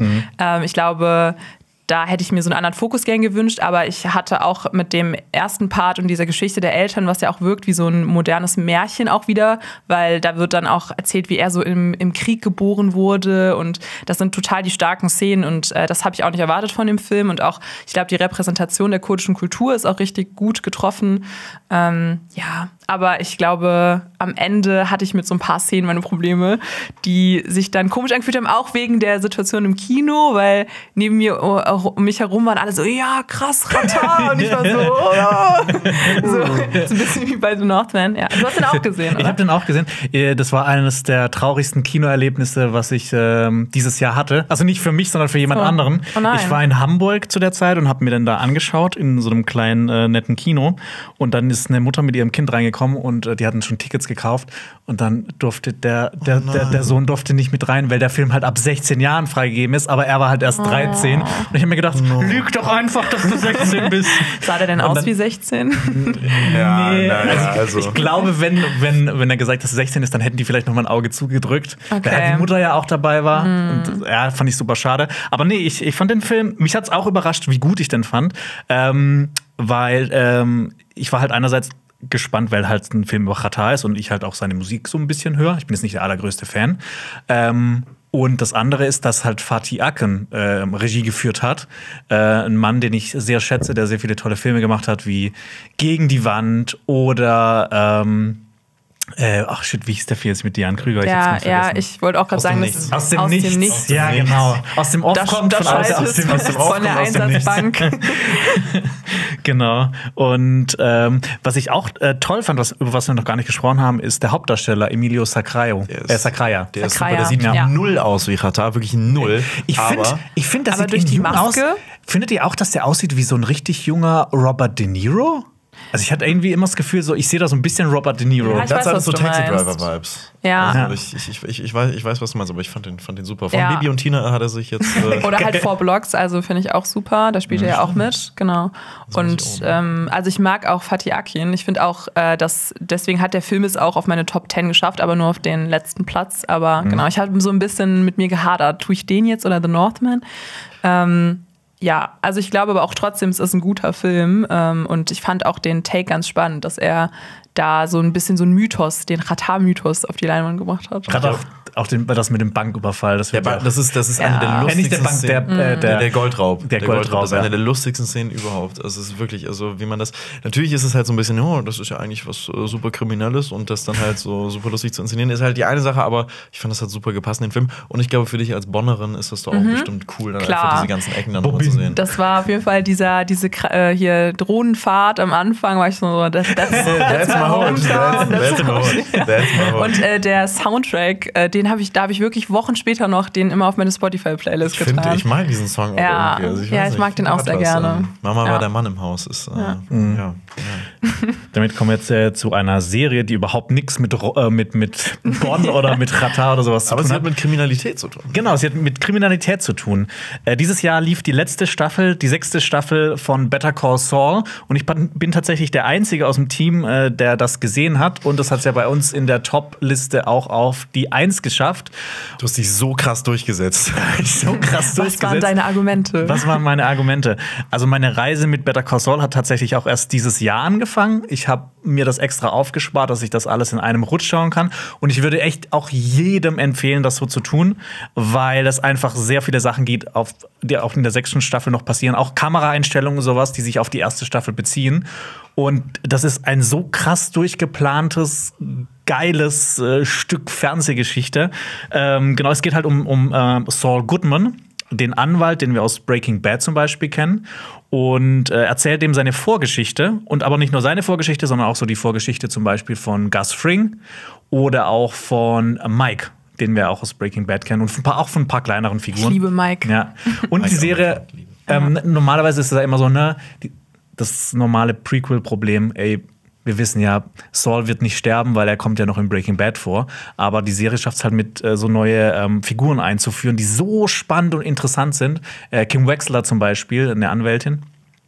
Wo du auch die ganze Zeit mitfieberst und denkst, so, was passiert mit ihr? Äh, aber stirbt die jetzt oder, oder trennt die sich? Oder, oder was, ist, was ist mit ihr? Was, was, was passiert mit ihr? Wo du halt so stark mit diesen neuen Figuren mitfieberst, dass es dir halt egal ist, dass du weißt, okay, Saul Goodman wird nicht sterben. Okay. Und äh, das hat die Serie halt geschafft. Und gerade die sechste Staffel hat ähm, alle Register gezogen, weil so vom Feeling her waren die ersten paar Staffeln immer so ein bisschen ein bisschen witziger auch und hatten nicht so dieses krasse Kartellding, wie dann auch in Breaking Bad vorkommt. Aber das, das entwickelt sich halt auch alles und äh, nimmt dann auch zwischendurch echt so richtig krasse Wendungen. Und ich, ich muss das wirklich jedem ans Herz legen. Also äh, der Marco von Nordkultur hat es mir ans Herz gelegt. Ich soll mir das alles anschauen. Ich habe es gemacht und ich äh, sage das euch jetzt allen. Schaut diese Serie, weil wenn ihr Breaking Bad liebt, werdet ihr Better Call Saul ebenfalls lieben und ihr werdet durch Better Call Saul Breaking Bad noch mehr lieben. Ich muss mich wirklich durch diese erste Staffel durchpressen, Echt? weil ich hänge auch, halt, ich äh, ich hänge halt bei? Folge drei Ich oder wa- ich vier. auch, exakt. Ja, und äh, es, es zieht Hatte ich sich gar echt. nicht. Ich Okay. das, äh, das war nämlich das Ding. Ich fand bei Breaking Bad hat sich oft, äh, hat sich oft mega gezogen, ähm, aber hatte dann richtig krasse äh, Twists und richtig krasse So Handlungsentwicklungen. Serien, äh, Staffelfinale auch. ja, genau. Und bei, einzelne Folgen. bei Better Call Saul gibt es das weniger, aber ich fand das halt insgesamt äh, spannender.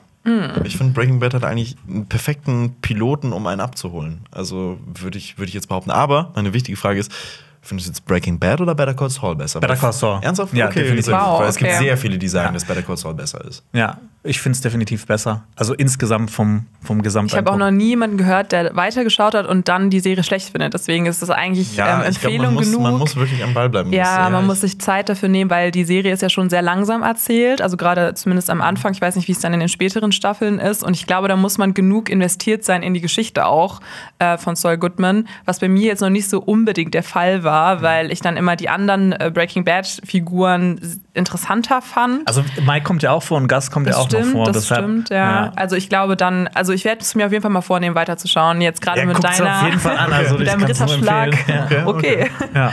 alles klar. Ähm, ja, jetzt bleiben wir bei Serien. Äh, eine Serie, die ich dieses Jahr geschaut habe, ist Heartstopper. Ist jetzt auch ein krasses Kontrastprogramm. ähm, Gibt's aber auch auf Netflix, ne? Gibt's auch auf Netflix, genau. Es ist eine britische Coming-of-Age-Serie und basiert auch auf Graphic Novels von Elise Oseman. Die habe ich leider nicht gelesen, aber die Serie hat mich mega gepackt. Ähm, es geht um Nick Nelson und Charlie Spring, die gemeinsam zur Highschool gehen und ähm, sich ineinander verlieben. Und ja, es, ist, es wirkt jetzt sehr generisch erstmal, wie so eine Coming-of-Age-Geschichte. Es geht um Teenager-Liebe, ähm, aber ich finde, die Serie macht was ähm, ganz Erstaunliches und zwar, dass sie queere Liebe nochmal ganz, ganz anders porträtiert, als man bisher irgendwie von Netflix oder anderen Serien kennt ähm, und so ganz frisch und anders. Und Olivia Colman spielt mit äh, als cool. Mutter von Nick und Sie macht gefühlt irgendwo einfach immer mal. genau, mit. sie macht mit und sie ist einfach nur da, aber sie ist toll. Auch die und- beste Mutter überhaupt. die beste Mutter überhaupt. Und ich fand, das war mal so was anderes, weil hier nicht so viel ähm, direkt Probleme auftauchen wie in anderen LGBTQ-Plus-Repräsentationen, dass das Outing immer so eine große Sache sein muss. Und hier ist es einfach natürlich und irgendwo angekommen in der Mitte der Gesellschaft.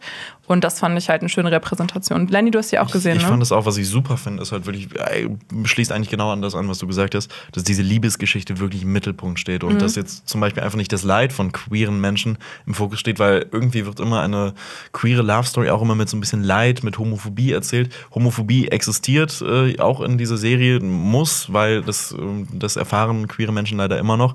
Aber ich finde, es wirkt halt trotzdem ist halt diese Liebesgeschichte zwischen äh, Nick und Charlie im Vordergrund. Das finde ich super. Und man muss wirklich sagen, diese Serie ist verdammt kitschig. Also Ja, sie ist ja. unfassbar kitschig. aber, aber sie ist so schön. sie ist das schöne Kitschig. Genau, sie, ist so, sie, ist, sie, sie, sie macht kein Hehl daraus, dass sie dann auch romantisch ist und irgendwie so eine, so eine wholesome Serie für so die Winterzeit, wenn man irgendwie was Ja, gucken stimmt, möchte, was das Herz erwärmt. Also das aber muss man mögen, aber mich hat sie auf jeden Fall in einem Zeitpunkt, wo ich das gebraucht habe, äh, war sie sehr schön. Ich, ich Ja. habe es jetzt wirklich letzte Woche nachgeholt und ich würde es im Nachhinein auch auf jeden Fall meine Topliste packen. Also ja. ich finde es. Das ist die letzte Woche nachgeholt. Ja, habe ich letzte Woche nachgeholt. Du hast letzte Woche einiges nach. ich habe letzte Woche noch einiges. Ich habe noch auf den letzten, auf den letzten Metern habe ich noch mal alles gegeben. Du hast nochmal alle Toplisten von allen durchgescannt Aber und nochmal alles genau, angeschaut. Habe ich nochmal Nicht alles. Vor nachgeholt. allem Nee, so für eine Serie Respekt. Also, Ja, warte mal, nur acht Folgen. Also. Ja, okay, das stimmt. Ja, Better Call Saul sind noch, äh, sind noch sechs Ja, das hätte Staffeln. ich mir auch noch letzte Woche reinpacken können, ne? Nein, aber ach nee, das ist auch, ich liebe, ich liebe Harz, aber es ist bittersweet und das ist, das ist toll. Ja, und- du hast aber nur eben gesagt, du magst es nicht Die, so. genau, die Animationen, also das daran muss man sich auch gewöhnen. Es gibt so, ähm, ja, so Zeichnungen, diesen Zeichnungsstil, das kennt man vielleicht auch von Schicksal ist Misa Verräter, glaube ich, so ein bisschen. Ähm, und das sind so Paper Planes, also so, ne, so, keine Ahnung, Papierflugzeuge Ja. oder irgendwie Stifte am So Rand. kleine Herzchen. Genau, ein kleine Herz. Und wenn man zum Beispiel Hardstopper googelt, kommt das auch bei Google übrigens. Das habe ich gestern Also herausgefunden. das ist dann mitten, äh, mittendrin kommt das quasi so auf Als das Element. auf, auf diese Live-Action-Aufnahme. Genau. Also einfach, Okay. also einfach, dass es So vom als Comic her Einspieler. kommt, ich weiß es nicht, aber. Ich glaube auch, das ist so ein bisschen äh, ein Wink dazu, aber ich, ich fand es jetzt nicht so gelungen, hat mir Ja. nicht so gefallen, hat mich manchmal ein bisschen rausgebracht, aber sonst ähm, wirklich empfehlenswert. Ich habe es mir, mir aber auch schon vermerkt. Ich werde es mir auch noch Hm. es reinziehen. ist, es ist Cool. wirklich Ja. super. Ja. Und äh, damit äh, verabschiede ich mich fürs Erste Adieu. und äh, übergebe an äh, Alper. So, wir wechseln wieder durch. Und ich muss kurz was korrigieren. Ich habe eben Bullshit gelabert. Ben Stiller ist überhaupt nicht der Showrunner von Severance, sondern äh, Dan Erickson. Ben Stiller hat aber in äh, den meisten Folgen Regie geführt. Das G, also äh, Ja. ich, ich hatte nur Er ist Regisseur, ja. Ich habe nur gedacht, dass er irgendwie Produzent war, aber dass er auch, Regie geführt hat. Auch, ja, aber der hat sogar, ich, also in einem Großteil. Ich weiß nicht jetzt in wie vielen genau, aber auf jeden Fall in mehreren. Okay, krass. Ähm, Jetzt ja. hat man mal Zeit, irgendwie die ganzen Sachen nochmal zu googeln. auf jeden Fall. Kann man sich Daneben korrigieren. Wir sind, wir sind drei Menschen hier. Ja. Sind wir das äh, The Triangle Triangle. of Sadness? Triangle of Happiness. Happiness, of Vor allem auch schönes Kontrastprogramm zu der kitschigen, schönen Serie von eben, weil die, der Film ist äh, nicht gerade kitschig. Nee, nicht wirklich kitschig. Aber er ist ähm, realistisch humorvoll. ja, und er ist in deiner äh, Topliste gelandet. Er ist in meiner Topliste gelandet, ja. Platz 9, Triangle of Sadness. Genau, ähm, es ist eine Satire von Ruben Östlund. Der hat ja schon in den Jahren davor äh, sehr viel Aufsehen erregt mit seinen Filmen, weil sie immer sehr krass Square vor allem. The Square gesellschaftskritisch waren und auch provoziert haben. Und ich finde, das macht auch Triangle of Sadness. Und für mich hat es äh, auf jeden Fall eines geschafft, eines der lustigsten Kinoerlebnisse des Jahres, weil ähm, ich da mit Freunden drin war und mich wirklich nicht mehr halten konnte vor Lachen. Und das soll schon was heißen. Ich finde, Triangle of Sadness schafft auf jeden Fall ähm, sehr klischeehaft, irgendwie manche Themen zu behandeln, dabei trotzdem aber noch was Neues mit reinzubringen, ähm, gerade wenn es um so Schönheitswahn oder auch Influencer ähm, und das, äh, diese Worum ganze. geht's denn? Schritt zurück. Okay, Schritt zurück. Äh, worum geht's? Ähm, es geht eigentlich um ähm, ja ein Paar, was auf eine Kreuzfahrt fährt. Ähm, äh, der Mann ist Model und sie ist eben auch Influencerin und ähm, das ist ihr Hauptberuf. Und genau, sie fahren eben auf diese Kreuzfahrt, wo es auch einen Kapitän gibt, der nicht wirklich auftaucht. ähm, Ja. Und zwar wird er gespielt Woody von Harrelson. Woody Harrelson. und Auf jeden Fall. Wirklich. Ähm, und es gibt dann ja markante Personen auf dem Schiff, äh, auch ein russischer Oligarch und der auch äh, seine Frauen mit an Bord nimmt. Ähm, genau. Und ich will, weiß nicht, ob ich das jetzt spoilern möchte. Und Tochter. Ach stimmt, das war die Tochter. Oh, wirklich? Ich dachte, das wären seine. Oh, okay. Mm, ähm, Dann habe ich das äh, missinterpretiert. Oder, oder ich Vielleicht spielt fehlinterpretiert. Inzest ja hier, vielleicht ist hier auch noch eine Inzest-Kritik drin. Oh Gott. Ich kann auch hätte irgendwie gedacht, dass das so. Aber- okay, ja. Aber ist nee, auch ich, mein, ich weiß es gar nicht. Ich, ich habe ich hab das so äh, interpretiert. Okay, alles gut, aber aber, ich, hab, ich vielleicht. war aber auch gehadert. Ich habe mir gedacht, ist das jetzt die Tochter? Ist ja, das, genau. ist das wirklich? Also, Kann aber auch Also, sein, dass man muss ja auch dazu sagen, dieses, dieses Irre, die- das Irre dieses Films kommt ja daher, dass es eine, eine Kreuzfahrt ist für Superreiche mit einer ähm, Angestellten auch an Bord, die ähm, deren einziger, deren einziges Berufsziel, Lebensziel es ist, diesen Superreichen jeden Wunsch von den Lippen zu lesen, der auch nur ansatzweise existieren könnte.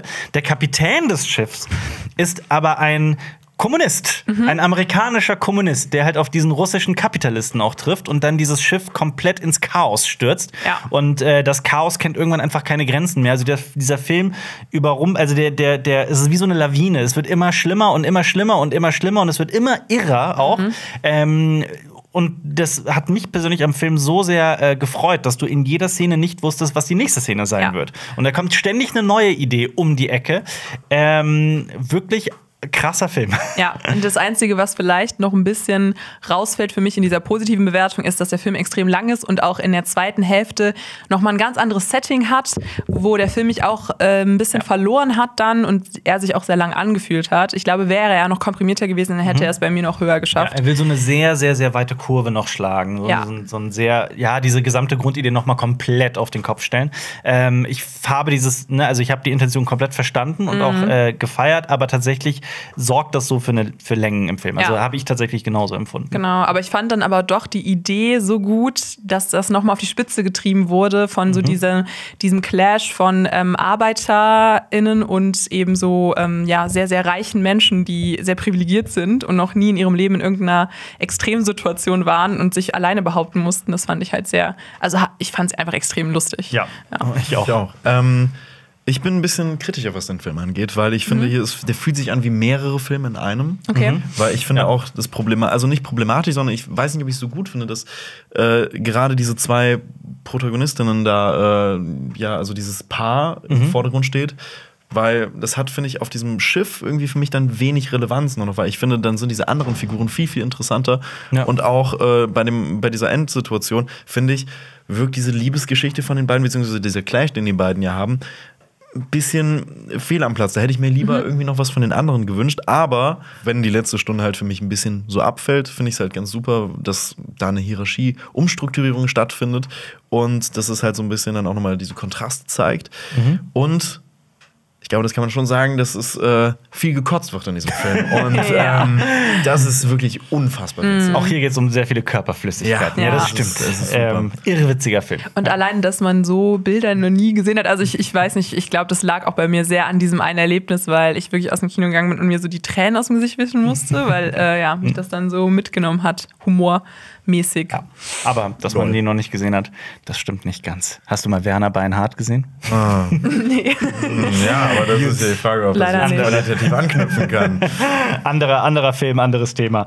Ähm, Wie hatte ich denn Red Rocket oder euch Red Rocket. Red, Red Rocket mitgenommen? Mich tatsächlich äh, mehr als die aller, allermeisten. Voll, glaub ich hätte auch total mitgenommen. Hat er? Ja. Weil, ähm, also in diesem Film muss man sagen, äh, der, der ist von Sean Baker und Mhm. äh, Sean Baker ist ein sehr äh, ja, spezieller Indie-Regisseur. Auf jeden der, Fall. Der halt wirklich äh, sich um Schicksale kümmert. Und äh, hier geht es um eine Figur, die von Simon Rex gespielt wird. Und Simon Rex kennt man aus Scary Movie eigentlich. Also frag mich so, hm, ist Der Auch Eminem dieser, dieser darin, Indie-Film, oder? Scary Movie? Genau, dieser ja. Indie-Film. Ja, ja, ja. Genau, wirklich. Und da fragt man sich so, ja, ist da die Qualität wirklich da? Und die ist wirklich da. Absolut. Weil der spielt hier Es, es geht ja, es geht um einen Mann, der in ähm, LA lebt und äh, Pornodarsteller ist, sehr erfolgreicher Pornodarsteller. Dann Simon aber Rex auch ein, übrigens selber mal war. Genau, was er tatsächlich mal war, Ah, der, der, okay. der Mann, der Schauspieler. Ähm, und er kehrt aber, es gibt, es kommt zu einem Zerwürfnis in LA, das auch nicht genauer erklärt wird. Er beschließt auf jeden Fall zurück in seine Heimat zu ziehen und dort lebt seine, ja, eigentlich Ex-Frau, aber sie sind, glaube ich, noch verheiratet offiziell, aber schon seit Jahren nicht mehr zusammen. Ähm, und er beschließt da, sich einfach, ja, hineinzuzecken. Und genau das ist dieser Mann. Er ist ein einziger Parasit, der sich überall wirklich nur das rauszieht, was er für sich gewinnen kann, ist ein Egoist durch und durch. Also wirklich, das zieht sich durch sein gesamtes Leben. Er ist Parasit durch und durch. Ähm, und das ist wirklich, war für mich ein absolut erstaunliches Filmerlebnis, das ich so selten zu sehen bekomme im Kino, weil diese Figur wirklich so also diese Figur ist wirkt wie aus dem Leben gegriffen. Also ich habe zu jedem Zeitpunkt hat sich dieser Film angefühlt, als wäre das ein, ein echtes Leben, real life. Ähm, gleichzeitig ist diese Figur so durch und durch unsympathisch. Das ist das krasse Kontrastprogramm zu dem, was dir Hollywood sonst abliefert mit Helden und Figuren, die du, die du liebst und Save the Cat und du musst Figuren dich, du musst dich mit denen identifizieren. Das ist das genaue Gegenteil, bewusst dieses, dieses krasse Gegenteil und du siehst dieser Figur zu und kannst das teilweise nicht fassen, was da alles passiert. Und er ähm, in Anführungsstrichen verliebt sich dann auch in so einen in 18-Jährige oder wie alt ist die? Ich weiß nicht, auf jeden Fall sehr jung. Ja.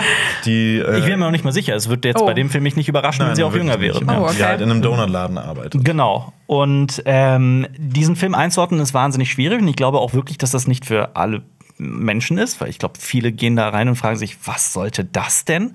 Ähm, schwer einzuordnen, aber für mich wirklich ein total interessantes Filmerlebnis aufgrund von Simon Rex, vor allem diesem Hauptdarsteller, der diese Figur halt einfach total glaubwürdig und äh, facettenreich spielt.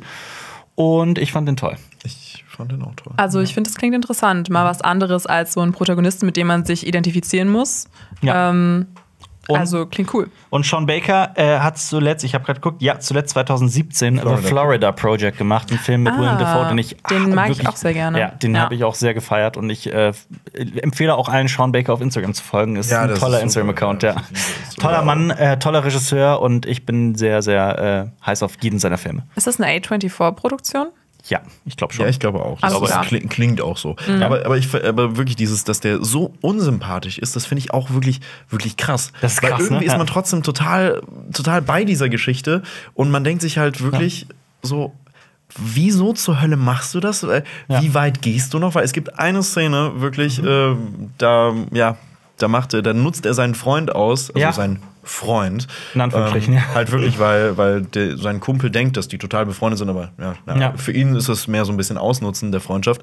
Und da passiert ein wirklich krasser Schicksalsschlag. Total. Und ich habe mir gedacht, was zur Hölle ist, bist du eigentlich für ein Arschloch? Aber genau das ist es ja. Das hat dieser Film geschafft, was wenige Filme schaffen. Ich habe im Kinosaal angefangen, mich selbst zu hinterfragen, warum ich es trotzdem als Mensch schaffe, mich irgendwie mit ihm zu identifizieren und ihn irgendwie und ihn so faszinierend finde und das alles auch verfolge und gucke und irgendwie und das schafft halt Simon Rex irgendwie diese abgrundtief verabscheuungswürdige Figur zu spielen, die aber also es ist nicht äh, also es ist jetzt kein Serienkiller oder sowas, der rumrennt und wirklich äh, brutalste, ekelhafteste Sachen macht, Er sondern nutzt es sind halt so, einfach Leute aus. Ja, er nutzt Menschen aus. Er Okay. nutzt Menschen um sich herum und zwar jeden Menschen um sich herum aus und selbst Menschen, die eigentlich total ihm gegenüber total wohlwollend sind und ihm auch das, das Beste von ihm wollen. Aber das ist natürlich auch faszinierend. Also, das ist ja. Ja. so diese selbstsüchtige Art des Menschen vielleicht auch. Ne? Und das dann mal auf Leinwand porträtiert zu Total. sehen, sieht man ja auch nicht irgendwie. Genau das ist es. Und Immer. genau deswegen war Red Rocket für mich so ein einmaliges Kinoerlebnis. Vor allem Sean Baker hat auch gesagt, dieser Film ist entstanden, äh, das war irgendwie innerhalb der Corona-Pandemie. Er hat an einem anderen Film gearbeitet und dann ist ihm diese Filmidee gekommen und er hat das innerhalb kürzester Zeit irgendwie niedergeschrieben und hat dann auch beschlossen, das zu drehen und das zu realisieren. Hat auch das Studio hat irgendwie gesagt, ja, lass es uns tun. Hat Simon Rex angerufen, willst du das machen? Und er hat irgendwie nach äh, Ja gesagt, das Drehbuch innerhalb von ein, zwei Tagen gelernt und ist irgendwie drei Tage später dann dahin gefahren und hat das bereits angefangen zu drehen. Also das war so ein Krass. wirklich so ein Das Last-Minute-Projekt. spontane Sache So ein Spontanprojekt. Und ich glaube, also normalerweise ist das ja ein gutes Rezept dafür, dass sowas schief geht. Ähm, und genau diesen, dieser Zauber wohnt diesem Film auch inne, finde ich. so, man merkt das, ja. Und gleichzeitig hast du halt auch nicht nur diese Figur, die halt die Lebenskraft, die Lebensenergie und alles aus den anderen Figuren herauszieht, das spielt auch noch in so einem ganz besonderen, in so einer ganz besonderen Region in, in, den, in den Südstaaten, in denen, ähm, wo, wo du überall halt wirklich Industrie hast. Und das Öl wird wirklich, du siehst das überall, diese Gerätschaften, die das Öl aus dem, aus dem, aus dem Boden ziehen. Ähm, und, und das ist halt so, fand ich dann auch so wahnsinnig interessant. Du hast halt das, was diese Figur macht, hast du halt auch in der gesamten Landschaft. Also die. Parallele, Genau, diese Parallele. eben, dass das auch Ja. ähm, so alles aus seiner Umwelt sozusagen zieht, was Genau. gut ist. Ne? Und Sean Baker ist anscheinend wirklich äh, tagelang durch die Südstaaten gefahren, um diese Stadt zu finden. Und äh, Ich ja, also ist es das ist perfekt. passt irgendwie perfekt, passt die ja. Hintergrundgeschichte, also macht mich noch viel mehr interessiert jetzt an dem Film irgendwie als der Ja. Film. Und äh, äh, was dich vielleicht auch noch mehr interessieren würde daran, ist, äh, dass äh, ein Song von Sync, nämlich NSYNC. Bye- von äh, Bye Bye Bye, äh, der ist, ist, ich habe den danach auch drauf und runter Ja, kann ich verstehen, Aber auch ja. die Coverversion, die es in diesem Film Ja. gibt, die ist super. Das stimmt, ja. Äh, diese, den Song, den man kennt, dieses Bye, bye, Ja, bye. genau der, ja. Ah, wow, der spielt eine okay. ganz große Rolle in diesem Ja. Film, ja. Nicht schlecht. Aber eine noch irrere äh, Geschichte ist eigentlich der Film, den äh, hundertprozentig da draußen auch so gut wie niemand gesehen hat, weil der Film komplett untergegangen ist in Deutschland, aber zu 100 Prozent, nämlich Onoda. Ähm, der hat Gar nichts davon gehört. Ja, ja, das, Absolut wirklich auch nicht bei mir. Wirklich, also der ist hier quasi nicht angekommen und ich finde das sehr schade, weil es ein toller Film ist. 10.000 Nächte im Dschungel ist so der Untertitel von dem Film, der Zweititel. Ähm, es geht um einen Menschen, der so wirklich existiert hat und dem das, was in diesem Film passiert, auch wirklich widerfahren ist. Es gibt äh, sogenannte, okay, jetzt, das wird jetzt wirklich historisch und es tut mir leid, wenn ich was Falsches sage. Ich passe sehr auf. Ähm, Kannst ja gleich nochmal googeln. ja, ich habe ich sogar schon im Vorfeld.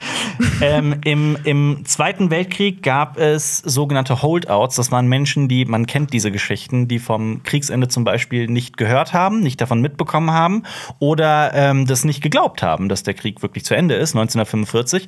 Ähm, und es geht um einen Mann namens Onoda Hiro.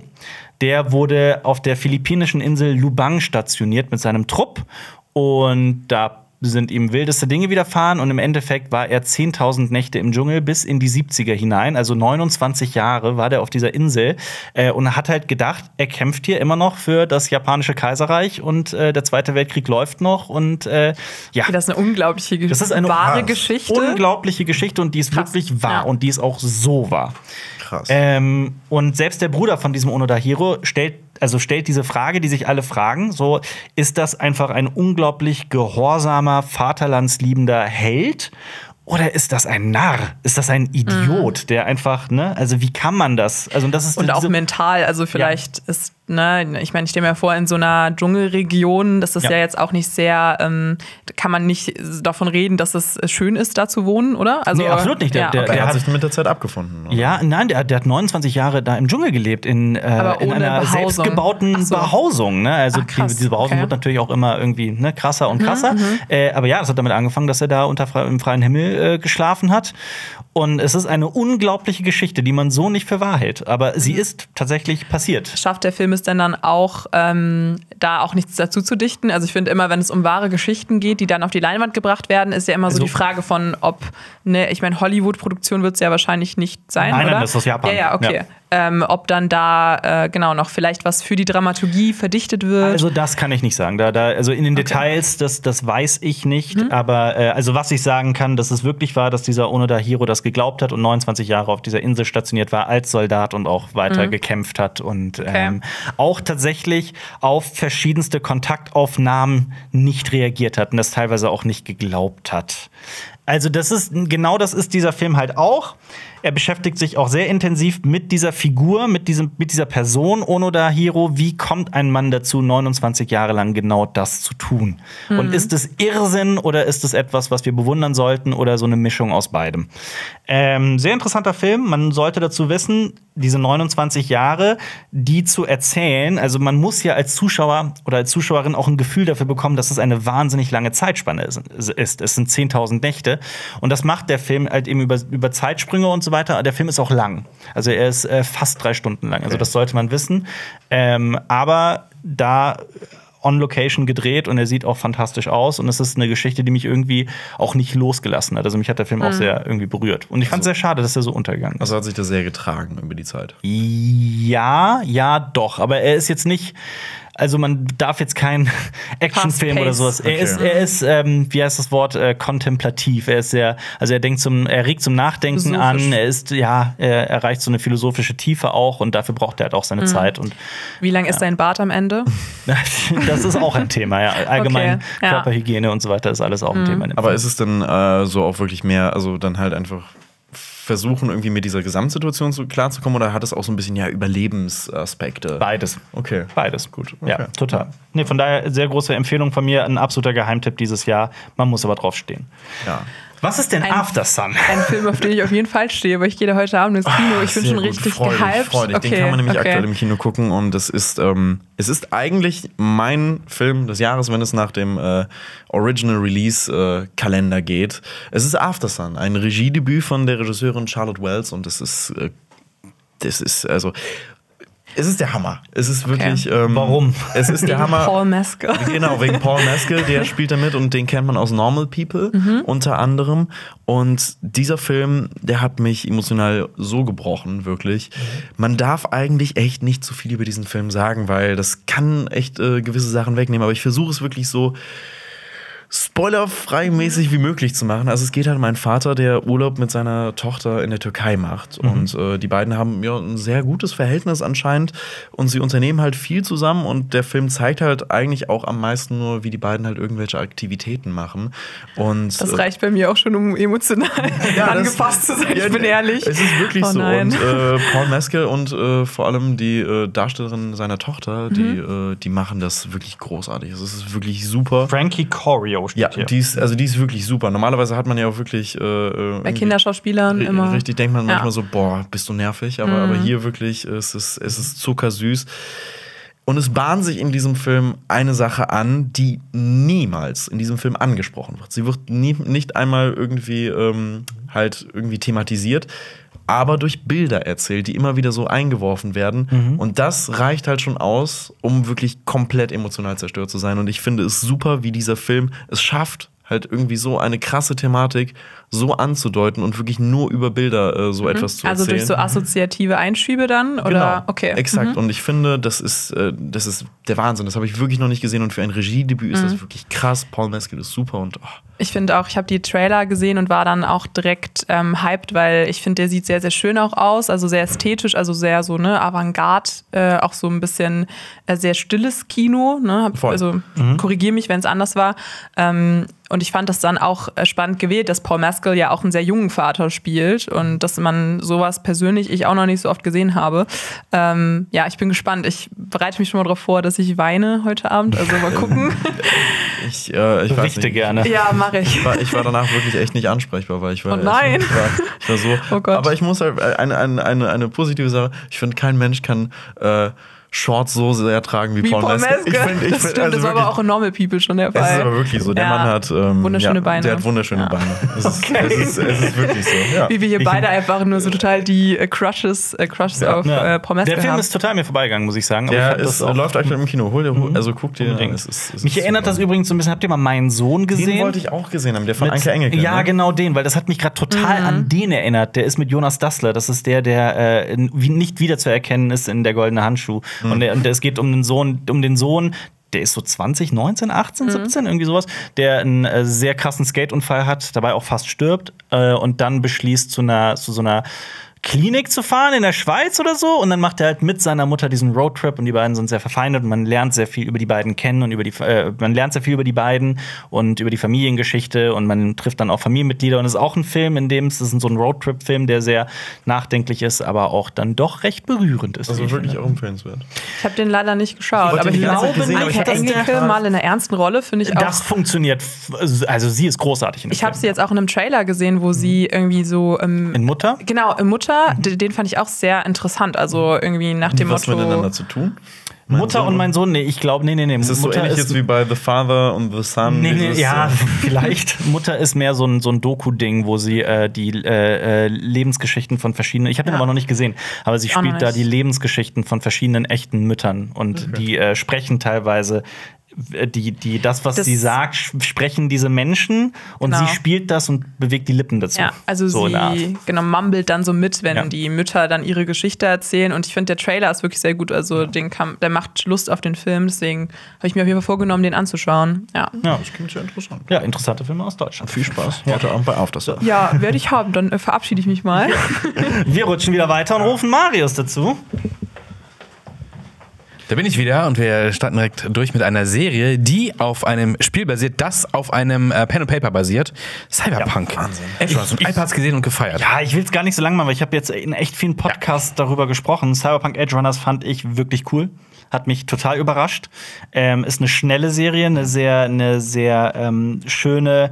Also sie sieht abgefahren aus. Ähm, sie ist wahnsinnig schnell erzählt, aber gleichzeitig auch äußerst gefühlvoll. Also gerade die Figuren haben mich sehr abgeholt und das war so eine Sache, an der hätte es scheitern können. Ähm, es ist kein Style over Substance und ich fand die Serie, ähm, ja, ich fand die ziemlich krass. Also mich hat das, mich hat das sehr überrascht. Ich habe die erste Folge gesehen und fand es auch super interessant. Ich habe es dann auf meiner Watchlist gepackt, aber ich habe es zeitlich noch nicht geschafft. Ich hätte es ein bisschen mehr gefeiert, wenn der äh, Stil so ein bisschen mehr Anime 80er gewesen wäre. Ja, Dann- kann ich verstehen. Ist er ein bisschen nicht, 80s, ja. Das, Das das, das ist aber sehr das ist immer. Ja. Nichtsdestotrotz, also ich kann Cyberpunk Edge Runners nur empfehlen, ist auf Netflix in ganzer Länge. Ich habe auch wirklich, also ich, also ich habe ich, ich hab einen Kumpel, der ist wirklich Hardcore-Anime-Fan und äh, der sagt selbst, das ist wirklich eine der besten Anime-Serien, die er so in den letzten Jahren gesehen hat. Ja, und, und ich bin total, ich, ich, ich habe so Bock. Ich bin so tief bin ich nicht im äh, Anime-Ding, also das sage ich ja auch immer wieder. Ich bin kein, nicht der allergrößte Anime-Fan, aber Cyberpunk Edge Runners hat mich sehr abgeholt. Okay. Ähm, nicht so sehr. Ein Film, der bei dir auf Platz 8 Oh, ist, Lenny. obwohl, der Ja. ist auch animiert, nämlich äh, von Kid Cudi, ne? Ja, richtig. Intergalactic. Richtig. Ähm, ja, Intergalactic ist, man sollte eher sagen, es ist weniger ein Film als Ja. ein visuelles äh, Album. Ja. Und wenn man mit der Erwartung an diesen Film rangeht, finde ich, funktioniert der auch. Ich, ich, bin, ich bin ein riesiger Kid Cudi-Fan, deswegen hat das für mich vielleicht auch deswegen funktioniert. Aber es ist eine Rom-Com in einem Animationsfilm. Ja, dann liebst Und ähm, ich finde, das hat perfekt funktioniert. Vor allem, das ist ja ähm, sehr inspiriert von Into the Spider-Verse. Mit weniger FPS. Ganz genau, auch, ja. Muss man auch mal hier sagen. Das ruckelt Äh, manchmal. Ja, das, das hat, das hat glaube ich, auch viele ein bisschen abgeschreckt. Ich fand's, Ja. ich fand's super und äh, auch Kid Cudi spricht auch selbst mit. Der Mhm. spricht den äh, Protagonisten. Und Timothy Chalamet spricht zum Beispiel auch mit, einfach weil die beiden auch befreundet sind. Mhm. Ja. Und äh, ich finde auch, wie die Und er Musik. kifft die ganze Zeit. Er kifft die ganze aber, Zeit. aber, die, die, im Gesamten. Was passiert so für Leute, die jetzt so gar nichts damit anfangen können? Was, was, was, was, also was heißt denn, das ist ein Es Album? Es spielt Es ist in wirklich- New York. es spielt in New York. Brooklyn, würde ich sagen. Ich weiß es nicht genau. Aber es geht halt um diesen Typen, der. Was ist denn nochmal vom Beruf? er ist Grafikdesigner. Grafikdesigner. Also Comic, Com also Ah, Street ja, genau, Artist. Er ist- Comiczeichner, er er ja, genau. Genau, Graffiti-Künstler und Comiczeichner.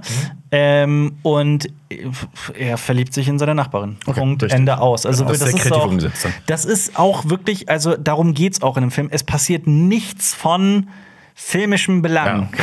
Aber es sieht ist eine echt gut Lebensgeschichte. aus. Also es gibt halt wirklich so Träumereien zwischendrin und auch wirklich, wenn er high ist, dann gibt es Mhm. wirklich weirde Trips, aber die sind echt super inszeniert und ver verweben sich auch sehr gut mit der Musik, finde ich. Ja, also wirklich, also es funktioniert wirklich perfekt als visuelles Album. Mhm. Das muss ich wirklich sagen. Als Film vielleicht dann eher weniger, wenn man wirklich mit der Erwartung rangeht, okay, ich gucke hier einen Film, aber als visuelles Album, Ja. Schrägstrich dann Film, hat es für mich wirklich sehr gut funktioniert. Also sowas wie ein langes Musikvideo vielleicht? Ja, ja, aber Es schon mit schon einer sehr- Geschichte es ist schon und sehr mit viel Konzeptalbum, Video. Ja, es ist halt, das ist halt das Ding. Dieser Film ist, was das angeht, relativ schwer einzuordnen. Ja, genau. weil Es ist, halt wirklich, ist, es ja. ist äh, schwer, schwer Aber es super interessant an, auf jeden ich, Fall. Also ich fand's, ich fand's super. Ich fand den auch wirklich witzig. Ähm, also vor allem dann die, die äh, Kiff-Freunde von dem waren Ja. wirklich super und ich fand auch die Romanze süß. Ja. Also wirklich. Ja, also, kann ich. ich bin da aber Würde auch ich- sehr schnell abzuholen. Also. Würde ich unterstreichen. Das Wort Romanze beginnt mit R und auch der nächste Rs. Film. RRR. Romanze, Romanze, Romanze. Wofür stehen nochmal diese drei Rs? Keine Rise, Ahnung. Revolt? Revenge. Ich weiß es nicht Geil. mehr. RRR. Ebenfalls auf Netflix. Der ist so Genauso, richtig erwachsener Film. Triple R-rated. Ah, ja, okay. Ja. Äh, ja, das ist ein, ein, ein indischer Film. Es ist ein äh, Du hast ihn auch gesehen. Lenny? Ich habe ihn gesehen und ich, der, äh, ich glaube, mich, wie hoffentlich so viele andere auch, hat dieser Film jetzt endlich mal so richtig für Bollywood-Produktionen begeistern können.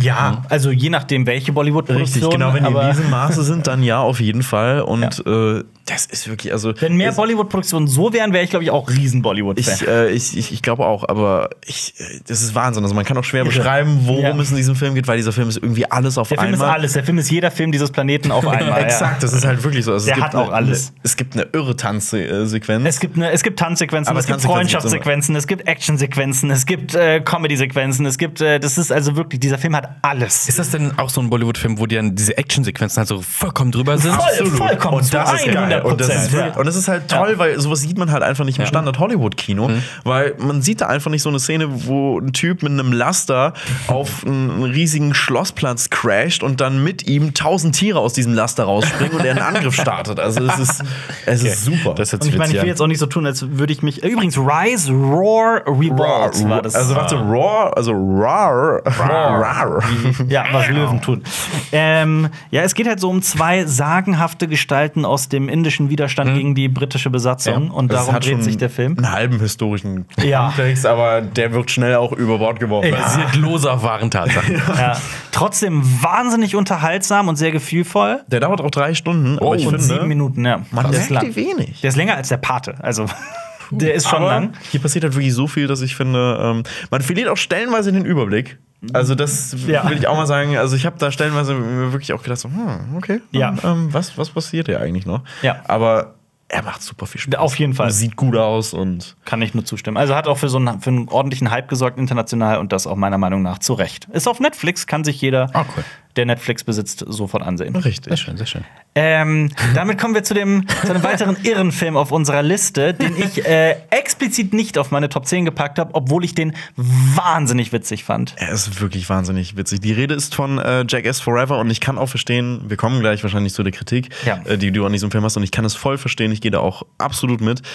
Aber ich bin das erste Mal in diesem, äh, in diesem Jahr in meinem gesamten Leben auf Jackass gestoßen. Ich habe wirklich, Was? ich habe Jackass nie geguckt Oh. und ich habe wirklich Also- alles, ich habe alles ähm, dieses Jahr nachgeholt. Jackass hat, mein, hat meine Persönlichkeit geprägt. Ich Ja, gucke ja, das ja seit meiner frühesten Jugend. Ich gucke das ja seit 20 Jahren. Und ihr Also ich seht es wahrscheinlich auch nicht hier ohne Jackass, ne? Nee, absolut. Also Jackass hat äh, ist wirklich, also man darf das nicht unterschätzen, was das für einen Stellenwert in meinem Leben hat. Weil ich habe ja. mich, ich kann mich an die Tage erinnern, wie ich mit 13 oder sowas äh, mit meinen besten Freunden nachts irgendwie dann vom Fernseher saß, MTV geguckt habe, als die Serie halt noch wirklich lief, die Jackass-Serie.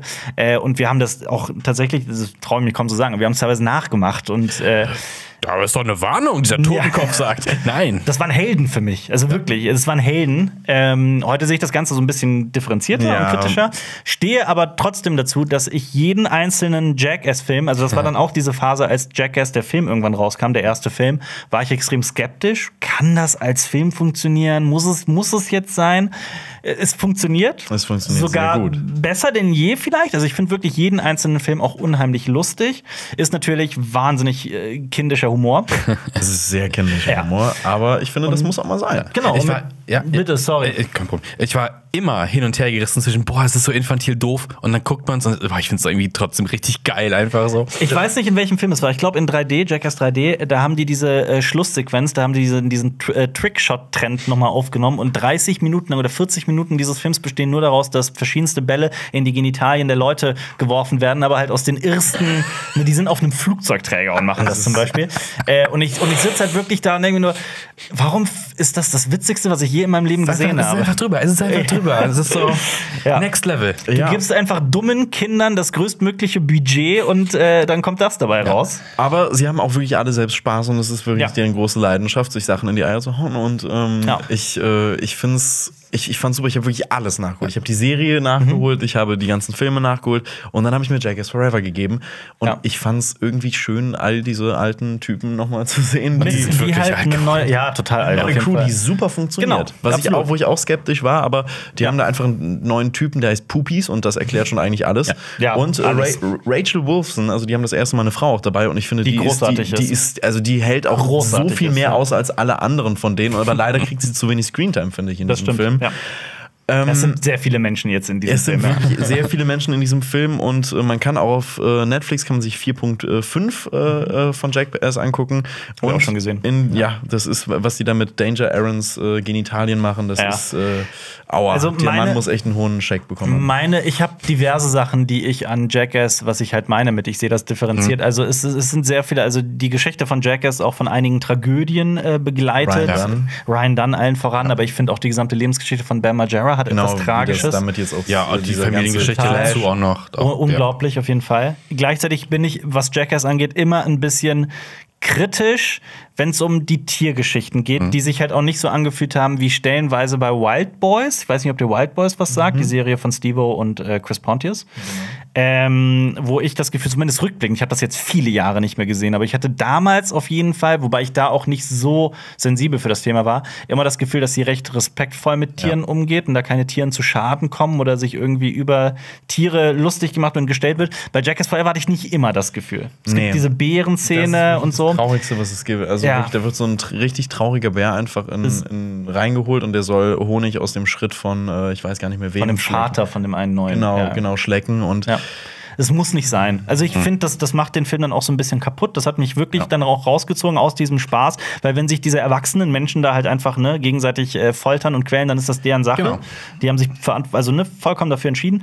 Ähm, ja, also das, das ist halt dieses, das ist der einzige Grund, warum dieser Film bei mir nicht irgendwie noch weiter oben auf der Liste ist. Ich, ich, kann es, ich kann es sehr verstehen, aber ich habe es halt wirklich zwischen all den äh, anspruchsvollen Sachen, die man auch so guckt, Ja. äh, habe ich das echt, echt gebraucht und ich hatte da echt äh, so viel Spaß mit und meine ganze Letterbox äh, Jahresrückblick ist jetzt einfach nur voll mit dem Jackass Cast, weil ich alle Filme nachgeholt und der. Prolog in diesem Film ist einfach ein Meisterwerk. Es ist ein wirklich- Meisterwerk. es ist Ich will das, sehr gut.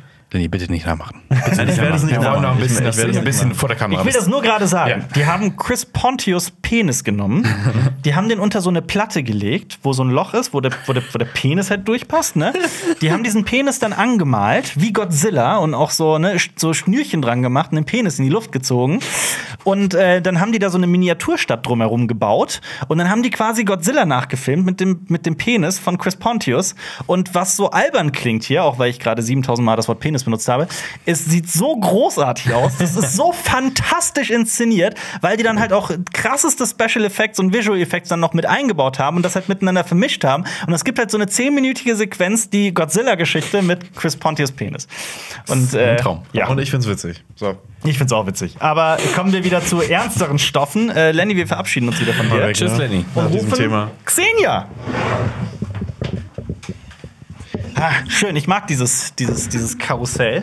Ich auch. Ich finde es geil, wenn wir wirklich ein Karussell hätten und Leute so in die Kamera gedreht werden. Ich habe das Gefühl, ich kann jetzt hier nach, äh, können wir nicht über ernste Themen reden. So. Das Ja, ist das ist Ja, das Thema. Sollen wir, äh, äh, was hast du denn mitgebracht? Sollen wir es in der Kurzfassung machen? Ja, wir haben Weil- ja echt schon viel über diese Serie geredet. Äh, da sieht man nicht so viele Penisse. Ähm, Aber schon Aber- ein paar. aber schon ein In der paar. Originalserie auch, ja. Ja, okay, das, stimmt, ja. Ähm, House of Dragon, Staffel 1, ähm, ich glaube, das war für alle äh, eine Top-Serie des Jahres. Die allen äh, dreimal Ja. Top 1 steht hier. Hyper, Marius und Xenia. Ja. bei Ja. Jonas, glaube ich, nur aufgrund von Better Call Saul nicht auf Platz 1. Ah, ja, okay. Sorry. Also ich finde, für mich war das voll mein Jahreshighlight. Also ich wusste es schon am Anfang des Jahres, dass es mein Jahreshighlight wird und es hat mich auch nicht enttäuscht. Ich finde, das ganz in der Kurzfassung, Viserys Targaryen war einfach für mich das Goldstück der Staffel. Also Ja, Paddy ja. Considine hat so eine krasse Performance hingelegt. Ich will das unbedingt nochmal rewatchen, die ganze Staffel, ähm, um die dann nochmal final vielleicht auch ähm, am Stück zu schauen und nicht irgendwie äh, pro Woche eine Folge zu gucken. Ich finde, da bewertet man das nochmal anders, weil ich hatte auch äh, zwischendurch so meine Probleme mit den Zeitsprüngen oder manchmal ne, hat die Serie dann für mich von Folge zu Folge vielleicht so an Qualität abgenommen, aber extrem stark geschauspielert vom Writing her und das Setdesign. Also es hat mich alles wieder an so die Hochphasen von Game of Thrones erinnert. Ja. Und, und, ja, direkt Drachen. direkt Ja. Drachen. Ja. Ich, hatte, ich hatte das so, dass die, die Serie begann. Ich glaube, zwei Folgen waren dran und dann war ich einen Monat im Urlaub.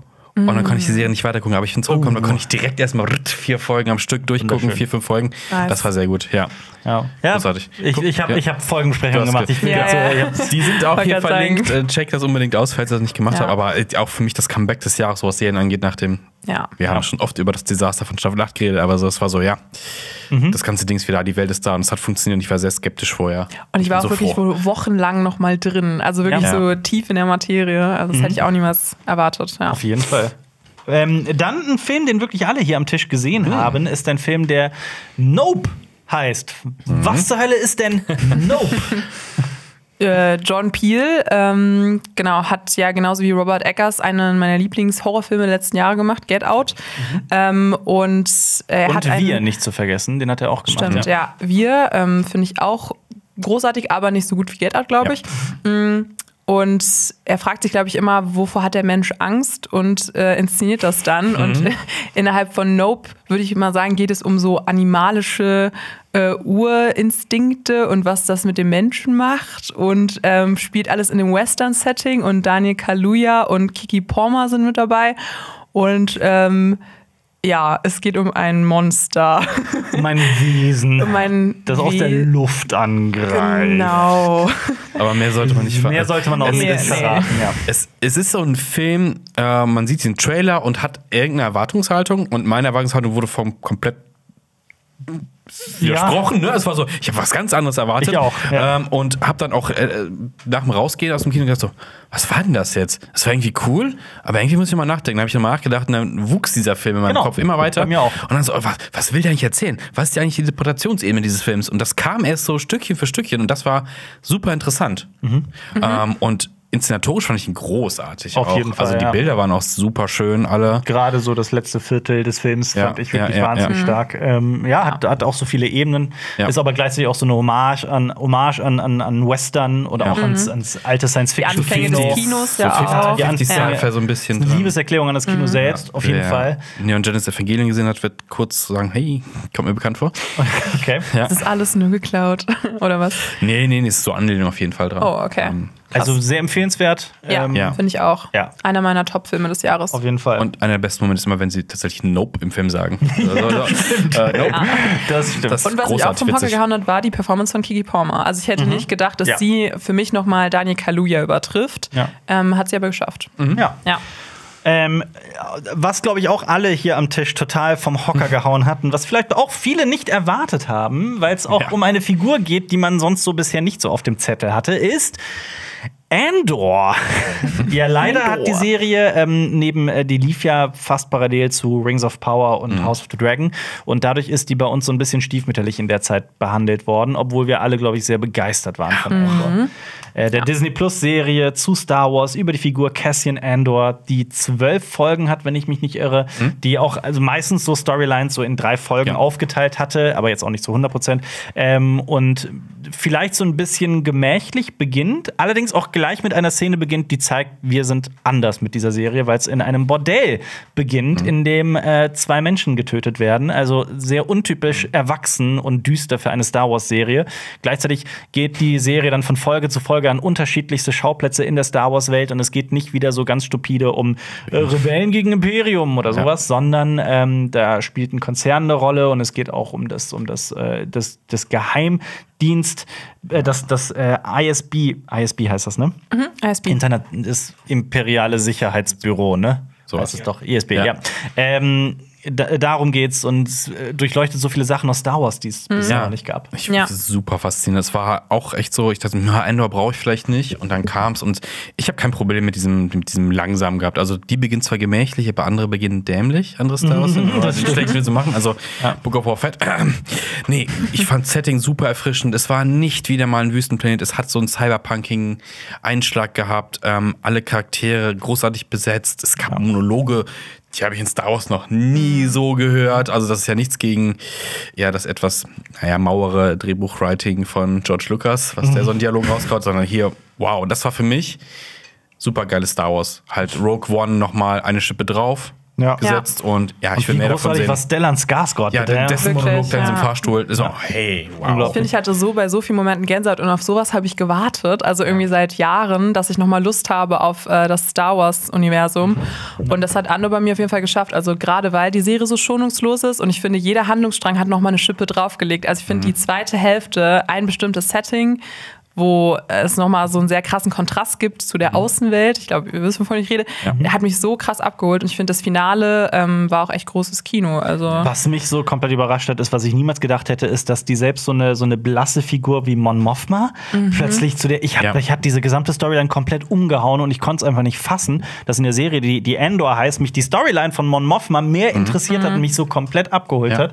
Äh, großartig gespielt und äh, ja, Coruscant sieht einfach geil aus. Und ich finde allgemein, dass die Coruscant noch, noch interessanter gemacht haben mit, mit dieser Serie. Und vor allem, dass die da verschiedene Star Wars Kulturen genommen haben und Ja. die wirken, denen wirklich auch den Raum gegeben haben, dass man ein bisschen was versteht. Leben eingehaucht Ja, haben. genau. Ne? Ja. Und es war nicht so platt. Ja, das ist das Volk und die Art, das ist die Handelsgilde und die, sondern Es ist ja irre, ne? Du hast dieses Jahr, du hast eine Serie über Boba Fett, legendäre Figur. Du hast eine Serie über Obi-Wan Kenobi, Ja, legendäre, legendäre Figur. Figur. Und du Ja. hast eine Serie über Cassian Andor. Und Andor ist um, um Längen besser als die anderen beiden Serien. Also Ja. das war nicht zu erwarten. vielleicht, weil er so ein unbeschriebenes Blatt ist. Das kann Ja, sein. aber ich glaube auch, die. Serie ist so deta detailverliebter. Ne? Ja, ja. Also ich, ich habe jetzt leider irgendwie Obi-Wan Kenobi nicht gesehen, ähm, die Oh, Serie. ja. Deswegen, ich habe nur gehört, dass sie relativ äh, mäßig ist von der Qualität. Lass es, dann ist Star Wars ja, ja, gut. ja, ja. Sie hat ihre Momente, Ich habe wir halt es ein so. paar, äh, also ich habe die erste Staffel, genau, ähm, äh, hier Mandalorian gesehen und war auch echt begeistert irgendwie von dieser Stagecraft und so weiter und ähm, hat mich dann abgeholt und dann die zweite Staffel hat mich schon ein bisschen verloren und deswegen war ich auch so, okay, Endor, I give it a try und ich, ich ähm, bereue es auf keinen Fall und ich habe Ja. jetzt mir auch vorgenommen, über Weihnachten nochmal alle Star Wars Sachen äh, nochmal zu gucken, weil ich jetzt wieder so drin bin. Irgendwie. Ach, schön. Ja, also nochmal von Willst du auch vorne. Clone Wars und Rebels gucken? Ja, wieso nicht? Also ich bin Ja, schon so ein bisschen, Ja, gut, ähm, ja, cool. ich bin sehr im Hype jetzt. Ja, vielleicht ist dieses Auch Resistance? Oh, Resistance habe ich noch nicht geguckt, Bad ja, aber Batch. Lenny macht im Hintergrund, äh, Yeah. ja, magst du es nicht, oder? Resistance ist. Äh, wow. das ist ein Fass. Ich habe Resistance beide Staffeln komplett gesehen und Okay. ich weiß bis heute nicht, wie ich das psychisch geschafft habe.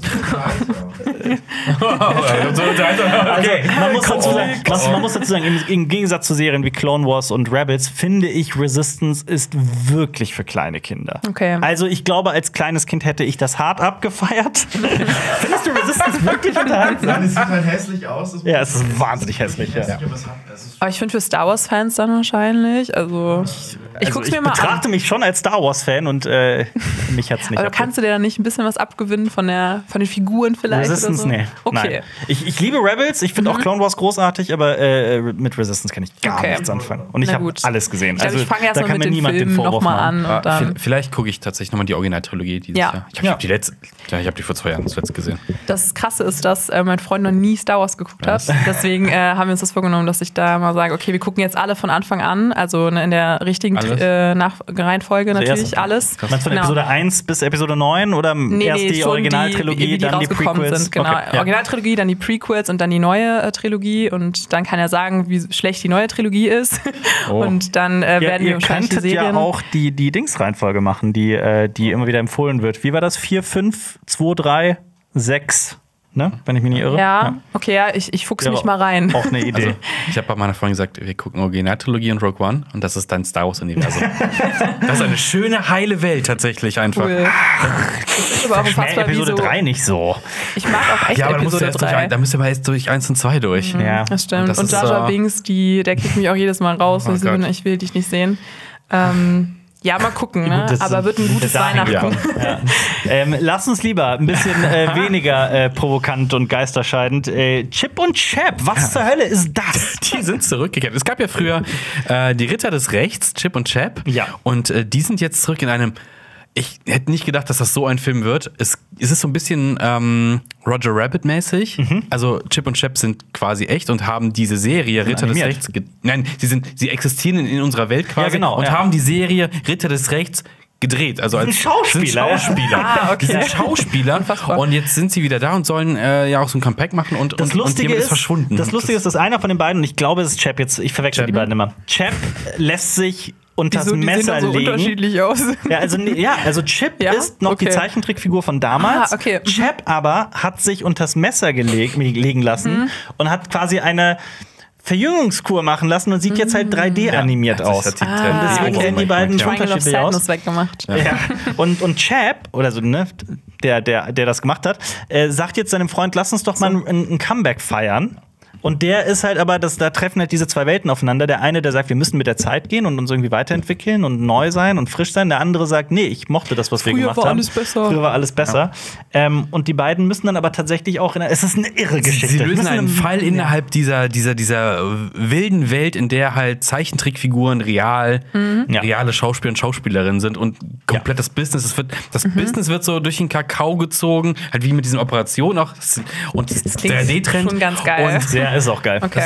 nicht spoilern, aber der Antagonist. Crazy das Pete ist heißt der, ne? Crazy Pete. Ja. Und was das und wer es ist, das ist so geil. Das Okay. ist super ultra witzig. geil. Ich Ja. habe so gelacht. Ja. Und es kommen, also wenn man, hast du Ritter des Rechts gesehen? Äh, nee, leider Ah, nicht. schade, ich ich glaube, das ist so vor mir gewesen noch. Also es war ja früher eine, die Zeichentrickserie, da bin ich leider nicht mit auf, auf, aufgewachsen. Ja. Sorry, wie- es ist Sweet Pete. Ich habe gerade Sweet Pete, geguckt. Sweet Pete, ja. So im gleichen Anzug wie Darkwing Duck, Captain Baloo, Gummibärenbande. Gummibärenbande Das hab ich sind alles gesehen. so in einem quasi.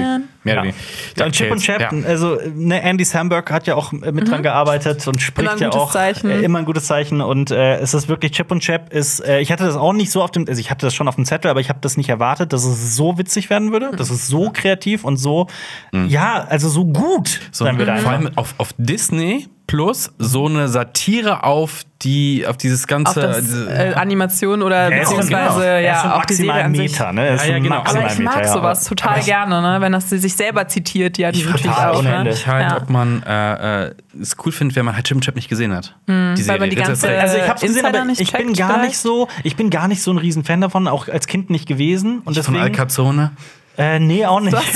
Einer von den Gegnern ist eine Katze und ist nicht Al Capone, sondern Alcazone. Ah, so eine nach dem Also Mafia-Boss. Ja, genau. Ah, ja, okay. Also äh, wirklich so ein, auch ein kleiner Geheimtipp, Chip und Chap, im, Ja. äh, äh, wirklich wahnsinnig empfehlenswert. Das Uncanny Ja. Valley ist unglaublich lustig. Und Ah, äh, Scheiße, jo. ja, ja, da gibt es so viele gelungene, gute, clevere Gags drin. Und unter okay. anderem treffen die auf einer Convention die, die erste Version von Sonic. Ja. Oh, ah, das stimmt, Ja. das hast du schon Ja, mal erzählt. super Ja, okay, Ja, das ist also, natürlich das ist- popkulturell 1A. Ich glaube, der ist auch nicht so lang. Also, das ist Nö. auch so, kann man mal so echt 90 so am Freitagabend. oder Ja, dann Schön gleich in der Mittagspause Ja, seht ihr dir, mich. Ja. gönn dir, gönn dir. Okay, Wir äh, führen einen Wechsel durch. 97 Minuten. Ah, Wir holen Jonas Supi. zurück. Ach so, ja, stimmt. Jonas hat auch ein 3D-Remake hinter sich. Hallo, guten Tag. Ah, Jonas, du bist ja ganz anders Dr. animiert. Ja, es ist echt ganz schwierig, da drüben zu sitzen und einfach nicht mitreden zu können. Will reinrufen, ne? wir, sind, wir, wir feuern noch direkt weiter mit einer ganz geilen Serie, die auch alle gesehen haben. Und zwar Stranger Things Staffel 4. Witzigerweise war die bei uns bei den Top-Listen bei uns dreien vier. auf Platz 4 jeweils. Ah, krass. Ja. Das ist ja lustig. Haben ja alle denselben Geschmack. Ich, ich werde, Eins zu eins. Ich werde. Stranger Things, glaube ich, auch immer mit äh, CSB verbinden, weil das mein erster Podcast war, wo ich hier eingeladen war. Da haben wir über Stranger Things geredet. So, ich war gerade voll verwirrt. Ich habe gedacht, das ist der erste Podcast, den du du je gehört hast. hast. Strikes nein, nein. Ja. Ah, Staffel 4. Äh, für mich, ich glaube, ich habe es schon oft gesagt, Überraschung, weil ich Staffel 3 nicht so prickelnd fand tatsächlich. Ähm, und dann kam Staffel 4. Hat es für mich richtig rausgerissen. Ich habe richtig Bock auf Staffel 5. Eddie ist cool, Musik war cool, äh, die ganze, das Worldbuilding, Charakterbuilding war alles cool. Ich fand's, ich fand's cool. Ja. Ja, das und das Beste war, on top da drauf, nicht nur, dass alles cool war, sondern dass jede Folge mindestens eine Stunde lang war und die letzte Folge einfach über zwei Stunden lang. Ja. Und es hat sich nicht gezogen. Es Ja. war perfekt und ich, hätte gern noch mehr gesehen. Ja, also das ist schon tatsächlich. beachtlich, Ja. dass es so viele Folgen gibt, die so lange sind und dass man trotzdem nicht abschalten will und noch mehr sehen will. Und die Serie hat bei mir das, äh, das Einzigartige geschafft dieses Jahr, dass ich wirklich auch mich auf jede Folge gefreut habe. Also ähnlich wie bei House of Dragon, aber dann nochmal so diesen Binge-Faktor auch hatte, weil ich hatte dann eine Weile gewartet, bis alles draußen war und dann ist nochmal an einem Rutsch geguckt. Und äh, also das war wirklich, ähm, die Serie hat mir voll viel Spaß gemacht. Ja. Boah, diese Pause war. Ich so, nein, nein, keine Pause machen, keine Das Pause. große Finale. Mehr, ich, ja. Ach, großartig, Ich, ja. Das war auch so ein richtig schöner Abschluss für mich im, im Sommer, weil ich habe die letzte Folge geschaut, bevor ich in äh, bevor ich Urlaub hatte. Hm? Und dann hatte ich vier Wochen Urlaub und das war ganz schön. Du musst das verarbeiten. Ja, ja weil auch teilweise parallel, glaube ich, bei der, bei der ersten Hälfte lief ja auf Obi-Wan Kenobi und war so mega enttäuscht.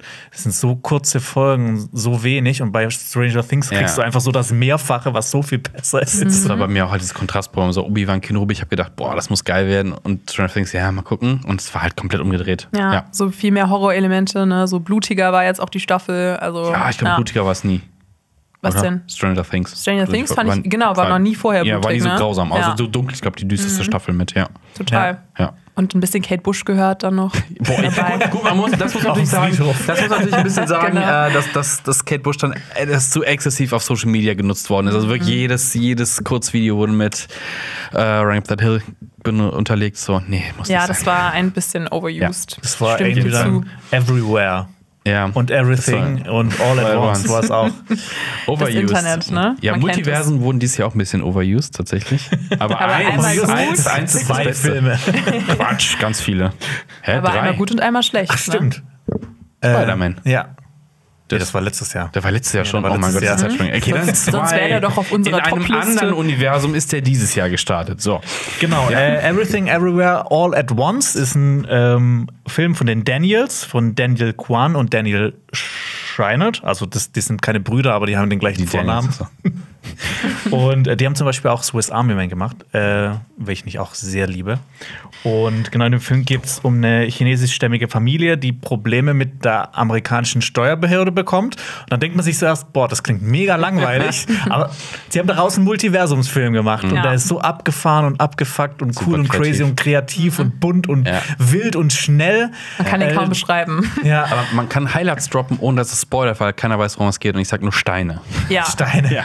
Einfach auch so diese, diese unterschiedlichen Szenen von der Art und Weise. Also so, da ist Animation mit drin, da sind unterschiedliche Filmgenres, die zitiert werden. Also es ist wirklich ein Meisterwerk, finde ich. Also visuell, vom Setdesign, das Schauspiel. Also ich bin ehrlich, also Michelle Yeoh hat mich so abgeholt. Ja. Und es, kennt ihr dieses Interview von ihr, wie sie so sagt, als äh, die Personen auf sie zugetreten sind mit der Idee des Films, ähm, hat sie sich total gefreut, weil sie endlich mal zeigen kann, was sie alles auf dem Kasten hat. Ja. Und ich finde, das ist so krass, weil sie diese unterschiedlichen Emotionen, die ihre Figur Evelyn durchmacht, ähm, authentisch und einfach mitnehmend äh, porträtiert. Also ich finde, ja, ich, ich fand, das ist echt der beste Film, den ich dieses Jahr gesehen habe. Und ich meine, das ist ja auch bezeichnend dafür, dass der jetzt immer noch im Kino läuft. Monate nach dem Ja. Kinostart kann man sich den Total. immer noch anschauen. Ja. Und ich freue mich schon so, wenn der auf Blu-ray rauskommt. Vielleicht gucke ich mir auch noch mal im. Kino an. Ich habe Ne? auch noch mal Bock, das weil der ist so kreativ. Der war im Kino, war definitiv ein Kinofilm, finde ich. Also, der wirkt auf der Großleinwand nochmal cooler. Insgesamt diese Ja. ganzen Action-Szenen auch, die Das da ist drin ganz, sind. ganz witzig, ich habe den mit meiner Freundin geschaut. Haben wir nicht und alle drin? Ja, und Ja. Noch, wir waren irgendwie zu Ja, fünft oder ja. sowas drin. Und dann äh, habe ich sie danach gefragt, wie fandst du den? Und dann hat sie gesagt, boah, der war mir, der war mir wild. Ich weiß das jetzt noch nicht. Und dann ist sie eine Woche später auf mich zugekommen und hat gesagt, so, ich glaube, ich fand den Film richtig gut. Sehr schön, sehr schön, Geil. sehr schön, sehr schön. Ja, Auch richtig geil, war? The Boys Staffel 3. The Boys Staffel 3. Ja. Ja. ähnlich kreativ, auf jeden Ja. Fall. Ah, Ich muss aber sagen, genau, The Boys ist ja so eine Serie, die spielt in so einem Universum, in dem es Superhelden gibt, aber diese Superhelden sind meistens Arschlöcher. ja. Und äh, das basiert alles auf einem äh, Comic von oder einer Comicreihe von Garth Ennis unter anderem, der auch Preacher geschrieben hat, ähm, mein Lieblingscomic. Und äh, ja, genau, die dritte Staffel zeigt einfach weiter, wie es da Ja. Abgeht mit dem Homelander und ganz viel. Es, gibt- das, das Spannende bei der Serie ist auch, dass ganz viele von diesen Superhelden und Superheldinnen ja so echte Superhelden und Superheldinnen persiflieren. Ich meine, Klar. Homelander ist dann Superman, aber halt als riesiges Arschloch und Ja. Narzisst. Genau. Und äh, ja, also es gibt Mit, eigentlich mit Mommy-Issues. Ja, oh Gott. Ich finde es auch gut, dass es halt funktioniert. Es gibt ja, gab ja schon mal hier den einen oder anderen Versuch, halt Superhelden halt in diesem, oh, was ist, wenn sie böse sind, ne? Oder wenn sie halt nicht so einen guten Charakter haben. Hancock zum Beispiel. Ähm, vom gleichen Autor übrigens wie Breaking Bad und Better Call Saul. ähm, fand ich so, boah, der Film hat so gar nicht für mich funktioniert.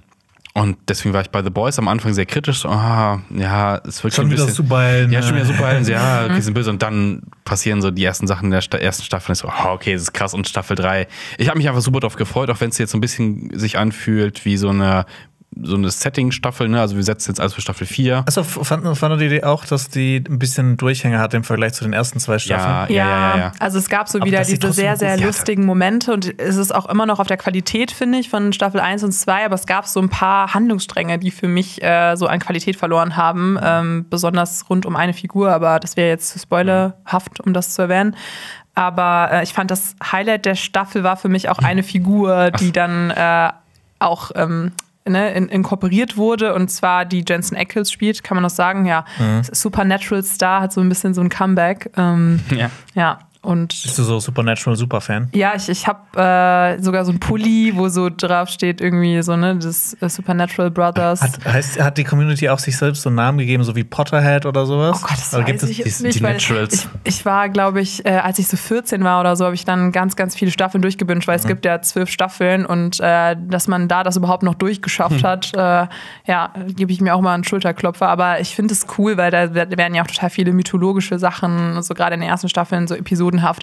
Dann kämpfen die mal mit einer Banshee oder mal mit Bloody, Bloody Mary und so. Das ist ganz cool. Wie, wie heißt der, der Charakter, den er spielt? Ähm, oh Gott, Jensen Ackles spielt. heißt er Dean? Der heißt Dean, ja. Ähm, jetzt, jetzt Ja, pass auf, ja. jetzt kommt. Der andere Typ von Supernatural spielt bei in Gilmore Girls, jemanden, der Dean heißt. Und es gibt eine Supernatural-Folge, da fahren, machen die so eine Hollywood-Tour und fahren so, ah ja, hier fahren wir gerade durch die Stadt von äh, Gilmore Girls und bla. Und der Typ, der in Gilmore Girls, ähm, ähm, äh, ja, steigen wir lieber mal aus und gehen weg. Super witzig. Geil. Ja. Ja. ich finde Supernatural hat in den späteren Staffeln auch so wieder diese Metaebene, wo wir eben auch schon Mhm. drüber geredet haben bei Chip und Chap. Ähm, und The Boys ja auch. Also die haben ja so viel Gesellschaftskritik mit in dieser Serie drin. Ne? Also so die referieren da auf dieses Pepsi-Commercial von äh, Kendall Jenner zum Beispiel. Ähm, Ja, hier mit dem sehr, sehr ganz lustig. politischen Bewegungen, ne, wie sich Leute so Genau. instrumentalisieren lassen. Es gibt ja diesen, jetzt nicht so viel Spoiler, es gibt so einen Moment, wo ein Charakter denkt, boah, okay, alle hassen mich jetzt und auf einmal für was Schlimmes und, und oh, was, gar nicht. Und ist auch ein bisschen Meme geworden tatsächlich. Es ist so, Ja. was für ein Moment in der Serie. Also die, diese, die, diese Serie, diese Staffel 3 hatte schon echt krasse und ganz ehrlich, nur, ich sag nur Octopus und The Deep. oh, das ist Also ich so. Ja, ich fand, Also ich fand aber auch richtig. Also, ich fand's- aber auch ich, da habe ich mit ihm gefühlt, aber Ja, das stimmt, das Das, stimmt. das Ding ist auch, ich hätte niemals gedacht, dass sowas gezeigt werden kann. Ja, und dass nicht. Serie, die so viel Geld eigentlich kostet, sowas gezeigt werden kann und sowas überhaupt irgendwo gesendet wird. Und dann noch bei Amazon. Aber finde ich cool. Ich lieb die Serie dafür. Ja. und guck mal, allein der Anfang. Wenn Ja. äh, der, der sich klein machen kann, wo er ist. Also, das ist so, wow. Ja, und äh, noch eine Sache zu den Comics, die sind ja auch, die erzählen auch eine komplett andere Geschichte, aber mit den gleichen Figuren. Ähm, und oft ist es ja so, dass die, die Ursprungswerke einfach besser sind, als dann, was halt irgendwie als Film oder Serie rauskommt. Aber ich muss sagen, ich persönlich finde, dass sowohl Comic als auch Serie beide großartig sind und dass das sich auch nicht, also das Scheidet. jetzt, äh, die haben jeweils ihre Stärken, aber sind beide gleich gut, würde ich jetzt mal sagen. Okay. Ja. Ähm, was dieses Jahr auch gut ist, was jetzt auch so ein bisschen unter dem Radar geflogen ist, ähm, gibt es auf Disney Plus äh, The Bear. Ähm, da habe ich mir die erste Staffel reingeguckt und da geht es um den erfolgreichen Koch Carmy, der von Jeremy Allen White gespielt wird und der Die kennt man ja auch Shameless zum Beispiel. Shameless habe ich leider nicht so, okay. gesehen. Ich bin ein großer Fan der Also Serie. für mich war der ein neues Gesicht. Okay, so ein bisschen. alles klar. Ja. Und der übernimmt, also dieser Koch, äh, der übernimmt einen Sandwichladen seiner Familie und will den auf Vordermann bringen. Und das Ding ist halt, ne, er hat halt schon bei so Sterneköchen und sowas gearbeitet, eigentlich so High-End-Kitchen und sowas. Und jetzt übernimmt er halt den Sandwichladen. Und äh, leider hat er aber viele Geldprobleme. Ähm, er hat Probleme mit der Gesundheitsbehörde und ähm, er hat ein sehr eigensinniges Team, das ihm das auch nicht so arbeiten will, wie er halt professionell arbeiten will. Und äh, außerdem ist er halt an den Laden nur gekommen, weil sich sein Bruder Michael ein paar Monate vor der Ma Handlung äh, erschossen hat. Und äh, genau, es ist einfach mega spannend, so ihm zu folgen, wie er versucht, diese Probleme zu überwinden. Und er wird halt immer weiter mit Problemen beworfen und beworfen und löst dann das eine, aber dann kommen halt schon wieder zwei neue Probleme. Und äh, das macht halt mega Spaß, dazu zu schauen, weil er halt auch ähm, eine sehr interessante Figur ist. Und dieses Team von ihm das ist halt auch so alles komplett abgefahrene, eigenständige Figuren, die sich halt auch wirklich wie so Personen anfühlen. Und ähm, Genau, ist halt auch einfach cool, dass er so was Simples wie Sandwiches perfektionieren will. So, so, so, so ein simples Essen. Wie lang ist so eine Folge? Äh, das schwankt, manche sind eine halbe Stunde lang, manche nur 20 Minuten. Okay, ja. Und es sind insgesamt nur sechs Folgen, glaube ich. Sechs, sieben Folgen. Snackable wie ein Sandwich. Ja. äh, ja, und hat mich auch komplett überrascht. Kann man echt in einem Rutsch durchschauen. Das ist wahrscheinlich so eine Serie, wo man extrem viel Hunger kriegt. Ja, wollte ich gerade sagen, kriegt Beim man Gucken. Hunger beim, auf Sandwiches? ja, doch schon. Also, also ich, ich krieg dann Ja. immer sofort, wenn ich irgendwas Ja. essen sehe, so, so, ja, das will ich jetzt auch Vor allem, haben. wenn das so audiovisuell, weißt du, mit so diesen Ja. Geräuschen von so gegrilltem Ja. Käse oder so. Das sieht halt auch geil aus, wenn er das dann kocht. Dann gibt es auch Ah, manchmal so Salt Bay. Montagen, genau, wie er dann ähm, hier das alles zubereitet. Mm, Okay. Ja, das macht schon Spaß, dazu Yes. zu schauen. Ja, kann ich, kann ich äh, jedem ans Herz Der legen. Schauspieler ist auch sehr hot, kann ich nur sagen. Jeremy Allen White, ja. Ja, genau. Ja, aus Shameless habe Ja. hab ich jetzt gelernt. Ja, genau. Und äh, damit verabschiede ich mich eigentlich auch schon wieder. Holen wir Lenny rein und, Und Lenny fragen wieder nach, rein. seinen, nach seinem Und ob er Lieblingssandwich. Jeremy Allen White auch hot findet. Ja. Jetzt, jetzt sind wir ein bisschen mit der Rotation so durcheinander, aber ich glaube, es ist egal. Achso, wir können auch. Ja, wir können auch Ja, sitzen. wir- Wir bleiben einfach wir sitzen. bleiben einfach wir bleiben sitzen. sitzen. Na gut. Das Karussell ist Es jetzt ein gibt Chaos. nichts Neues, oder? Oh, vor allem nicht im Westen. Westen, Mensch. Du Ja. hast dir das Remake, ne? du hast dir das Remake eines äh, Buchklassikers, äh, beziehungsweise auch schon verfilmt worden ist, zweimal angeguckt. Richtig. Und ich glaube, jeder Geschi LK hat diesen Film auch gesehen. Äh, und Deutsch LK Deutsch LK bestimmt auch, ist, ja. Nee, ich habe ich hab ja auch eine Kritik dazu gemacht und ich habe, glaube ich, auch schon alles gesagt, was ich darüber sagen möchte. Deswegen, Hm. äh, du hattest den Film ja auch gesehen. Ah. Ich habe ihn auch gesehen und ich mochte den sehr gerne. Der hat sich sogar in meine Top-Liste gemogelt. Ähm, ich habe das Buch leider nicht gelesen. Da habe ich Ach, geskippt im Geschi LK. Ja, äh, ich habe mir das auch zu Weihnachten gewünscht. Ich sehr dachte, da nehme ich mir mal einen Tag für, weil ich habe gehört, dass man da sich eher für wirklich Zeit nehmen muss, um das Buch irgendwie am Stück durchzulesen, weil es ein sehr belastendes Thema ist. Schon, ja. Ähm, Aber es hatte den gleichen Effekt wie, wie vorhin äh, bei dem Sandwich-Sachen.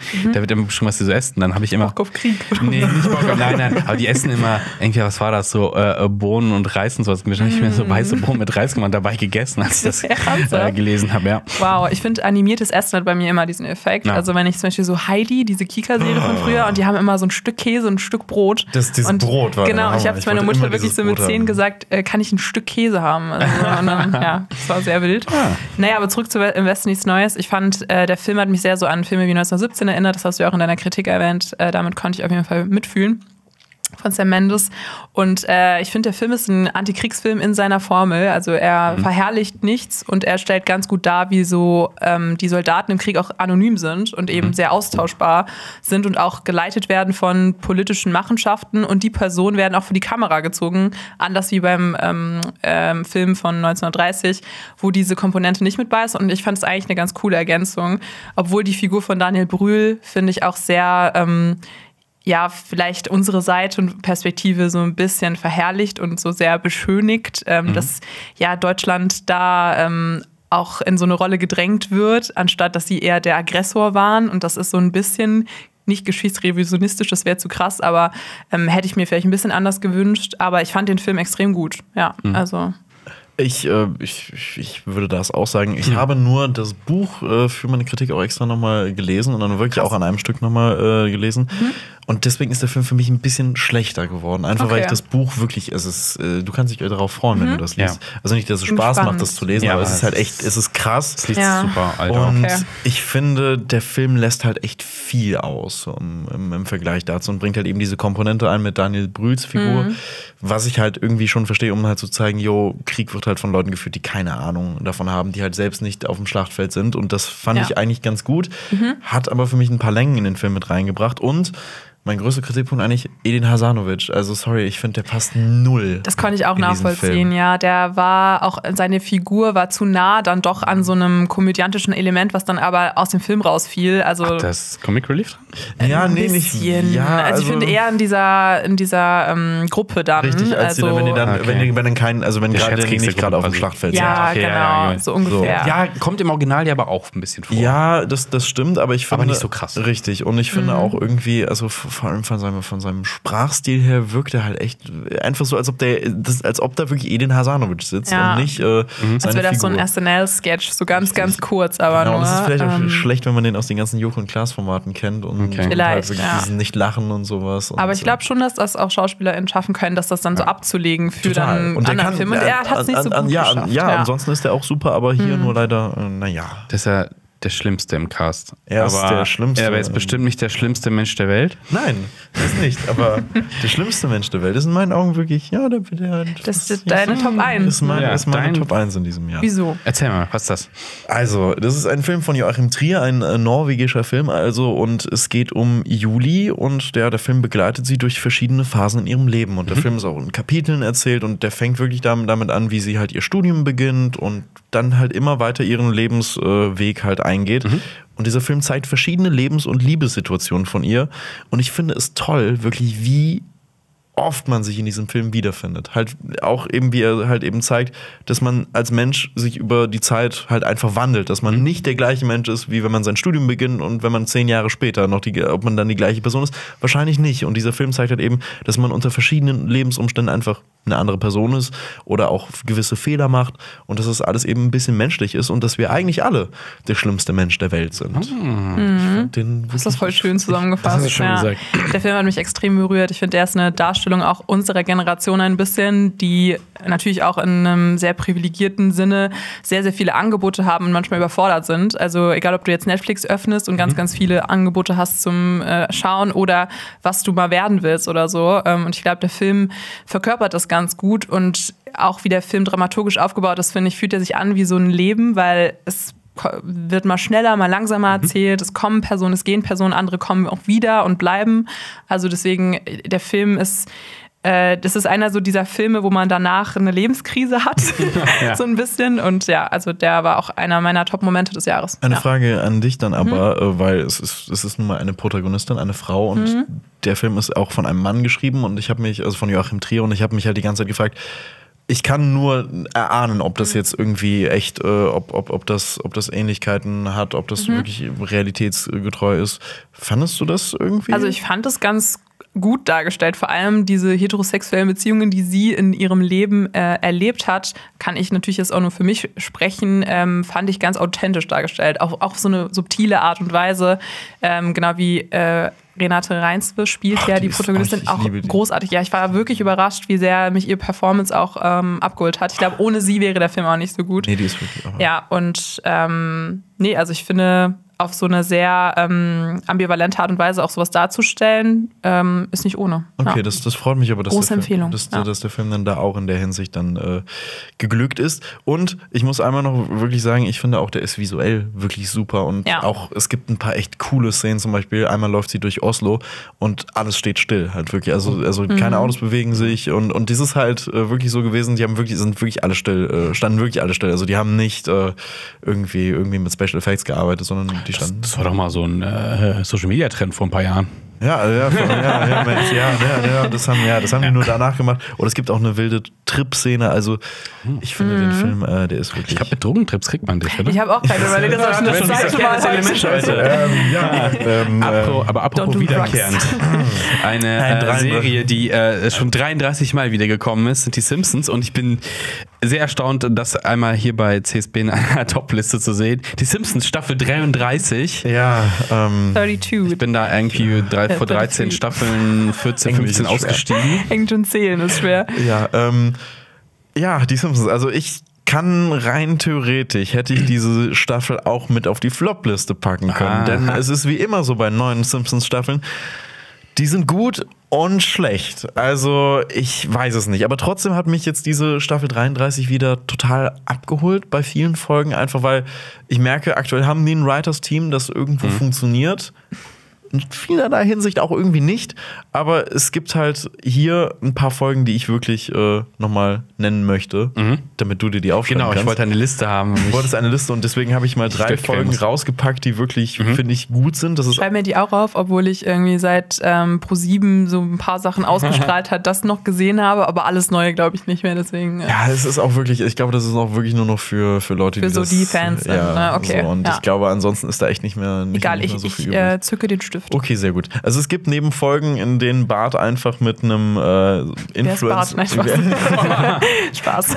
Sorry. Ja. ähm, aber es gibt, es gibt so eine Folge einfach, das ist, um einmal zu zeigen, wie dumm auch diese Staffel irgendwie wieder ist. es gibt eine Folge, in dem Bart sich mit einem Influencer befreundet und die bringen beide einen Schuh zusammen heraus. So, das ist halt, ist, die versuchen immer an, am Zahn der Zeit zu sein, aber es ist halt auch. Früher, früher, waren sie der, früher waren sie der Zahnzeit, jetzt versuchen sie es einfach nur dran zu hängen. Ja, ja. Und jetzt ist es halt echt doof. Doch auch schon.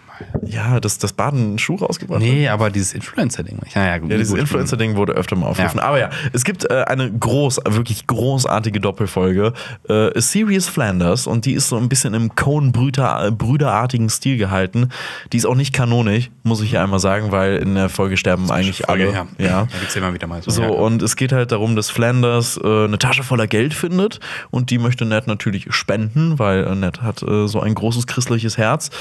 Aber äh, diese Tasche Geld gehört einem Gangster, der dann in, nach Fat Spring Tony? Nee, Nein, nein, eine, eine neue Figur, die nach Springfield kommt und dann äh, jeden tötet, bis er dann diese Tasche Geld bekommt. Und die ist wirklich super. Also die ist die, so viele Referenzen und die ist, die ist wirklich klasse. Dann gibt es noch eine Folge, die ich äh, wirklich empfehlen möchte, die Folge mit Smithers Liebhaber. Das, äh, Smith, Smithers bekommt nämlich in dieser Folge einen, äh, einen, äh, ja, einen, einen, einen Freund. Und Wie äh, der Film mit Harry Styles, mein Policeman. ja, ja, nee, es ist, die Folge ist schon ein bisschen besser. Äh, vor allem, weil die geschrieben ist von Johnny Lazapnik und der, äh, dem folge ich auf Twitter und der ist wirklich unfassbar witzig. Und äh, der Vater ist auch schon Autor bei den Simpsons gewesen und diese Folge ist einfach herrlich queer, wirklich, also wirklich im allerbesten Sinne. Äh, da werden halt einfach wirklich so viele Insider aus der Szene äh, ausgepackt und das ergibt auch total Sinn und ich finde, es funktioniert perfekt und wirkt nicht aufgesetzt, weil halt eben der Vater und der Sohn halt beide halt diese Folge geschrieben haben und dadurch fügt sich das auch eben in diese Welt der Simpsons mit ein. Und die beiden Folgen kann ich wirklich, also die drei Folgen kann ich wirklich empfehlen. Und äh, ja, ansonsten kann man auch einen Bogen um die Staffel Simpsons machen. Also ja, okay, gut. ähm, ja, Ich habe hier noch äh, einen ganz einen kleinen Tipp für alle Leute, die Dinosaurier mögen, also eigentlich alle Menschen. Äh, auf Apple TV Plus gibt es Prehistoric Planet, äh, auf Deutsch ein Planet vor unserer Zeit, ist ähm, eine schöne kleine äh, Doku-Serie über Dinosaurier und zwar in verschiedenen Habitaten, also Dinosaurier äh, im Dschungel, Dinosaurier in der Wüste, Dinosaurier in der Arktis und sowas und ähm, super toll erzählt, äh, wirklich mit Voice-Over. Aber ohne Littlefoot. Und Littlefoot. David Attenborough macht äh, das Voice-Over. Okay. Äh, großartig, sieht auch toll aus. Also die besten, also es sieht sehr viel besser aus als Jurassic das World. ist ja schon traurig. Ja, ähm, hat mir super viel Spaß gemacht. Man kann es schnell durchgucken und war auf jeden Fall ist, ist, ist ein, ein Blick wert auf jeden Fall. Ja. Ich mag, dass das so einen Doku-Stil hat. So. Ja, Ja. und nun sehen Sie den äh, T-Rex, wie er sich äh, heranpirscht und ähm, Ja, so ein, ja, so ein bisschen, so ein bisschen ist das so. Okay, also so ein bisschen wie Panda, Ja. Gorilla und Co. Nee, aber es hat halt natürlich dadurch, dass sie das halt natürlich alles komplett aufziehen konnten, natürlich äh, von der Dramaturgie ist es halt ganz gut erzählt, sowas, ne? Also es hat halt so Spannungsbögen auf jeden Aber Fall. es hat drin auch wirklich einen Cool. krassen Bildungsfaktor, ne? Ja, ja, also so, so auf dem aktuellsten Stand der Dinosaurierforschung. Okay, cool. ja. Also haben die da auch Da Federn? kommen ja immer mal wieder neue Sachen, ne? Ja. Jetzt wurde doch auch ein neues äh, Dinosaurier-Art entdeckt. Habe ich auch Ja. mal auf Instagram Dinosaurier gesehen. sollen gar nicht so gebrüllt haben. ne? Und die sahen ja auch ganz anders Ja. aus, ne? Das also immer so Dinosaurier eine werden eigentlich mit jeder neuen Forschung, die rauskommt, uncooler. Oh, hast du das auch aus, auf dem, aus dem Ja, UFO-Podcast? Podcast ja, UFO, ja, ja, ja. Das So. ist ganz Ähm, kurzer Shoutout. Nein, Dinosaurier bleiben cool. No matter. Ja, wissen wir nicht. Ja, Wisst ihr, wer auch cool ist? Bleibt ja auch cool, wenn ich weg bin. ich weiß ja nicht. Nein, wir Jonas werden Ressel ist auch so cool cool. und kommt jetzt hier So, wieder rein. Oh, oh. Ja, okay. Ah, Guten Tag. Hallo, welcome back. Wir machen direkt weiter mit einer Serie, die wir alle drei gesehen haben. Und zwar auch so eine Überraschung, fand ich. Fand ich Überraschung des. Jahres. Ich finde, Disney Plus hat dieses Jahr einige Ja. Überraschungen irgendwie parat Ja, aber gehabt. auch so kleine Sachen, Bear war da drauf. Äh, The Dropout, das habe ich jetzt heute nicht genannt. Und Pam and Und Tommy. Tommy. Es geht um Pamela Anderson und Tommy Lee, beziehungsweise um ihr legendäres Sextape. Ich weiß gar nicht, ob ihr alt genug seid, um das live miterlebt zu haben. Äh, nein. Also ich auf gar keinen Fall. Also ich habe davon gehört. ich habe davon gehört. Äh, es war, ähm, also in den, wann waren das? Welches Jahr schreiben wir denn eigentlich nochmal? Irgendwas in den 90ern. 90 Nein, nein, 19 90s. 90s. 90s. 90s. Da äh, wurde auf einmal quasi ein Sextape von den beiden geleakt. Und diese Serie erzählt in einer schon coolen Art und Weise, äh, wie es dazu gekommen ist. Cool ist natürlich jetzt ein bisschen, naja, es geht halt immer noch um, um, um Diebstahl und, und Leaks und äh, Veröffentlichen von, von intimen Sachen. Nicht ganz so cool, aber es ist, wow, diese Serie, wie die aussah auch. Ich Ja. war so überrascht. Also dieses Make-up ist groß, also wirklich, also Lily James sieht ja wirklich eins zu eins aus wie Pamela Anderson Ja, mit diesem so Make-up. Und der Sebastian Stan ich ist fand, auch großartig ich als Family. fand, fand ich auch. Mein geheimer Star dieser Serie ist aber Seth Rogen, weil ich finde, ich finde, seine Figur ist wirklich die interessanteste von, von, von dieser Serie. Er ist nämlich der Handwerker, der von Tommy Lee ja beleidigt wurde und auch nicht richtig bezahlt wurde. Und der hat gedacht, komm, ich wich dem eins aus, klau den Tresor von ihm und da drin befindet sich das Sextape, das er dann Ja. veröffentlicht. Und Ja. äh, So in den frühen Zeiten des Internets und so, und ja, was? Online-Pornografie, man kann es dann bestellen, was ist das denn? Also, es ist ist, halt- ist es ein ist so, ein. Retro-Ding, so ein Blick zurück tatsächlich. Ich musste auch wirklich an so, ja, wann habe ich mit dem Internet angefangen? So 98, 99 rum. Ja, das waren damals nicht ganz so coole Zeiten. Also, ich, ich, ich mochte es aber auch total, wie ähm, Sebastian Stan, äh, wie er ihn spielt, also wie er Tommy ist Lee spielt. gut also einerseits halt so ein richtiges, riesiges Superstar-Arschloch Ja. und andererseits, man fühlt auch so ein bisschen mit ihm mit, was halt gerade mit ihm passiert und weil er halt auch, ne, Ja. mit, mit seiner, äh, seine Frau war das ja dann auch, ne? ja, ja, die Ähm, haben relativ schnell geheiratet, ja. Ja, was das halt auch für ihre Karriere bedeutet hat, dieses Sextape, dass er da halt auch komplett äh, mitgefühlt hat. na ja, so ganz mit. Also ich fand, er war auch ein bisschen dümmlich so dargestellt. Ja, er war schon, er war schon, er war schon richtig drüber. Aber ich- also ich ich keine halt cool- Ahnung, wie Tommy Lee wirklich drauf ist, ich, aber ich finde es aber halt cool, dass äh, Sebastian Stan auch so Figuren spielen kann. Ja, das ist- das ist also wirklich diese, gut. diese. Bandbreite. ja. Und ähm, ein wiederkehrendes Element dieses Podcasts, äh, ein Penis, äh, findet auch in, diesem, äh, Oh, in, dieser, ja. in dieser Serie statt, nämlich er unterhält sich mit seinem Penis. Ja, das ist super absurd. Aber ich fand auch, dass da tatsächlich, also neben den ganzen Absurditäten, und das ist, ja ein bisschen lustig sein, aber auch so ein bisschen ähm, Kritik geübt worden ist. Und das war am Set von äh, Baywatch.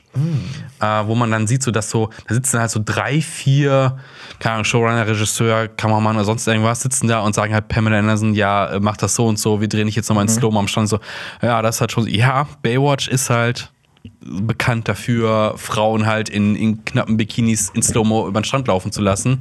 Auch Männer, aber so eher, wenn du diesen Befehlston da hörst, dann denkst du, ja, wow, das ist eine Objektifizierung. Das ist schon krass. Ja, aber bei all dem Guten, was wir jetzt über diese Serie gesagt was haben, Schlechtes. ja, nee, muss man dann halt eben, diese Serie kritisiert ja das eben, Mhm. aber man kann sie auch selbst kritisieren, weil sie haben das gegen den Willen von Pamela Anderson diese Serie gemacht. Sie hat, Mhm. äh, Pamela Anderson äh, fand es nicht gut, offensichtlich und auch zu Recht, weil es ist nun mal ein sehr dramatisch einschneidendes Erlebnis, glaube ich, für sie. Und ich fand, das ist dann halt so ein bisschen bitteren Neig- Beigeschmack noch so. Und Ja. ich finde es aber trotzdem irgendwie gut, wie es halt eben in dieser Serie an, äh, äh, halt eben angegriffen wird, dieses, dieses Mhm. Thema. Zum Beispiel wird halt eben, äh, sagt Tommy Lee einmal in dieser Serie, ja, ich bin auch auf dem Tape drauf, mich betrifft das. Und Pamela Anderson sagt dann aber nicht so wie ich. Und das zeigt halt eben auch nochmal, für eine Frau ist das nochmal was komplett anderes. Ja. Und das ist immer noch du- was das anderes. ist ja auch Thema. Er wird ja auch in der Serie dafür gefeiert von ganz vielen Leuten. Ja, also krass, also von ja, Männern. Ja, genau. ja, das ist halt. Und du kannst ja sicher sein, dass sehr viele Leute nach diesem Sextape gesucht haben. Danach. Natürlich. Also das, das, das kann ich mir, das kann ich mir vorstellen. Wonach man aber auch hoffentlich gesucht hat dieses Jahr im Kino. Kontrastprogramm Ja. dazu. ist ähm, Aber auch kritisch, kritisch, The kritisch. Woman kritisch. King. Ja, das ist auch ein kritischer äh, kritisch Film, betrachtet, äh, ja. den, äh, ja, dazu werden wir mal noch kommen, ne, Jonas? Aber Ja. der ist bei dir auf äh, Top 4 gelandet. Genau, ähm, ich habe den, dann, ich glaube, als der rauskam, habe ich den gescha äh, geschaut. Du hast schon ein bisschen was über den ähm, im Vorfeld geredet gehabt Ja. im Podcast und ich, das hat mich sehr interessiert, weil du auch davon geschwärmt hast, auch von diesen Action-Sequenzen und sowas. cool. Und wenn man den Trailer guckt, dann denkt man ja, das, äh, das sieht aus wie ein Spin-off zu Black Panther. Wirklich. Weil es gibt ja auch eine Verbindung, weil diese Leibgarde von Black Panther, ähm, die ähm, Basiert Die- auf diesen basiert Kriegern auf der, dieser Kriegerin, Stamms der genau. Agoye. Genau, das Ganze spielt äh, in Afrika, in dem Staat Dahomey. Und es gibt einen Stamm von Kriegerinnen. Das Und- sind die Agoye. Genau, die Agoye. Und ähm, genau, die ähm, kämpfen in dem Film ja quasi gegen die Sklaverei. Und das ist ja auch so einer der Kritikpunkte im Film, die man immer wieder hört, weil ähm, historisch betrachtet haben die ja selber auch Sklaverei betrieben. Ja. Ja. Gut, wenn man das dann mal kontextualisiert hat, Ja. finde ich, macht dieser Film trotzdem unfassbar viel Spaß. Das, Ja. Ding ist, das Ding ist halt, es wird halt so kritisiert, so, oh. Das ne, ist das- so, und dann, dann guckt ihr aber bitte mal alle historisch angehauchten Filme mit vielen weißen Ja, Darsteller genau, also Darstellerinnen find an, das- die sehr viel Beschuldigung und sehr viel sich Freiheit auch nehmen. Deswegen finde ich das so harsch zu kritisieren Das halt. ist halt wirklich ein, ein ganz großes Bashing, weil dieser Ja. Film ist halt einfach wirklich krass dafür, dass es ein riesig, also es ist ein ausschließlich schwarzer Cast halt eben, außer ein paar Europäer, die halt eben dann in diesem Film noch Ja. mitkommen. Und auch wirklich dieser gesamte Cast, vor allem, äh, ich, ich, glaube, es war, es war doch Viola Davis. Viola Die Davis, ist ja. der Hammer. Die ist eine Also- Wucht in also dem Film. Also die ist ja eigentlich in jedem Film Die Wucht, liefert aber ab, hier ja. nochmal, weil sie hier auch wirklich kämpft. Also auch körperlich kämpft. Ja, genau, und, und Lashana Lynch auch und, und alle, die da mitmachen, es ist wirklich super. Ja, ich finde, das ist ein richtig cooler, richtig cooler Blockbuster und auch gerade die Actionsequenzen. Ich habe nicht damit gerechnet, dass bei so einem geringen Budget das alles Genau. so fantastisch aussehen kann. Halt wirklich für so einen Mid-Budget-Film sieht das echt, Mhm. echt, echt gut aus und auch ist auch hart. Also wirklich, es gibt da ein paar echt, ein paar echt auf die Fresse. brutale Szenen. Ne? Also direkt schon zu Beginn. Ja, stimmt. Eine der ersten Szenen ist quasi auch schon so, es geht, äh, gibt auf die Fresse. Und das ist ja auch, der Film spielt ja auch ganz viel damit, ne? Das sind ja äh, alles weibliche Kriegerinnen und dass die halt auch Männern auf die Fresse geben. Das ist ja auch so ein bisschen die Aussage des Films. Und das so, funktioniert ja. perfekt. Ja. Brechen da viele Knochen also? Ah, ja, du der bricht eigentlich alles. Alles bricht. Wir kommen zu einem äh, Film, den wir alle wieder gesehen haben und auch äh, gut gerankt haben eigentlich, nämlich Bones and All. Wir haben eine Kritik dazu gemacht und auch, glaube ich, im letzten Podcast relativ ausführlich drüber gesprochen, aber ich glaube, wir drei sind alle sehr begeistert von diesem Film. Ich glaube, wir sind alle im ganzen Team sehr begeistert. Haben wir alle von gesehen? Film. Ah, Äh, hat nicht. noch nicht gesehen, ja? Sehr gut. Ja. Worum geht's Film. denn? Ja, Ja. das, ja, ähm, ja stimmt. Da- Dafür will man ja, weiß ich nicht. Darf man, darf man? Eigentlich, eigentlich kann man sagen. Es ist, es ist, es wird im Trailer erwähnt. Ja. In dem Film geht es um Kannibalismus und eine Love Story, die äh, zwei, ja, Kannibalisten betrifft. Und Kannibalist. Kannibal. Kannibalisten. Oh Gott. Ja, Mensch, jetzt bin ich. Ist äh, so, so, so lange Podcast macht was. Man, man muss sagen, das ist halt überlebensnotwendig für die, oder beziehungsweise einen so großen Drang danach, Menschen zu essen. Richtig. Ja, und man, man trifft hier auch, auch auf ab- absurde Charaktere, auf unheimliche Charaktere und auf die, auf mit die schönsten Bilder im Kino dieses Jahr, finde ich. Also, was natürliche Total. Bilder angeht. Total. Und ich finde. Und ich finde es halt wirklich, also für, für mich, äh, ich, ich, ich war anfangs einfach immer nur angefixt von diesem Punkt. Kannibalismus und Love Story, also wie kann das funktionieren? Und dass dieser Kontrast wirklich so gut aufgeht und dass man wirklich mitfühlt, wirklich bei dieser Love Story, die halt einfach wirklich, ja, eigentlich widerwärtige Menschen betrifft, fand ich super. Und die Ebenen, die Ebenen. Jeder, jeder kann sich was aus diesem Film rausziehen. Ja, weil auch da Interpretation. Womit mich der äh, Film am Anfang gecatcht hat, war, dass er von Luca Guadagnino ist, der ja auch Suspiria, Suspiria. gemacht Und hat. Call Me By Your Name. Call Me By Your Name, genau. Und dass natürlich Timothy Chalamet, Timothée Chalamet, wie auch immer, dass er da mitspielt. Chalamet. Obwohl ich finde, dass die Hauptdarstellerin äh, Taylor Russell Die soll man nicht unterschlagen. Ja, die ist auf Großartig. gar keinen Fall. Ich finde, Großartig. die ist, äh, die ist mit Ja. der, der, der, das Beste an dem ganzen Vor allem, Film. wie sie diese emotionalen Momente schafft und dann halt aber auch wirklich diese kaltblütigen, wirklich, wo sie zum Beispiel am Anfang direkt auf dieser Übernachtungsparty ist und dann weirde Sachen da passieren. Boah, ja, das war.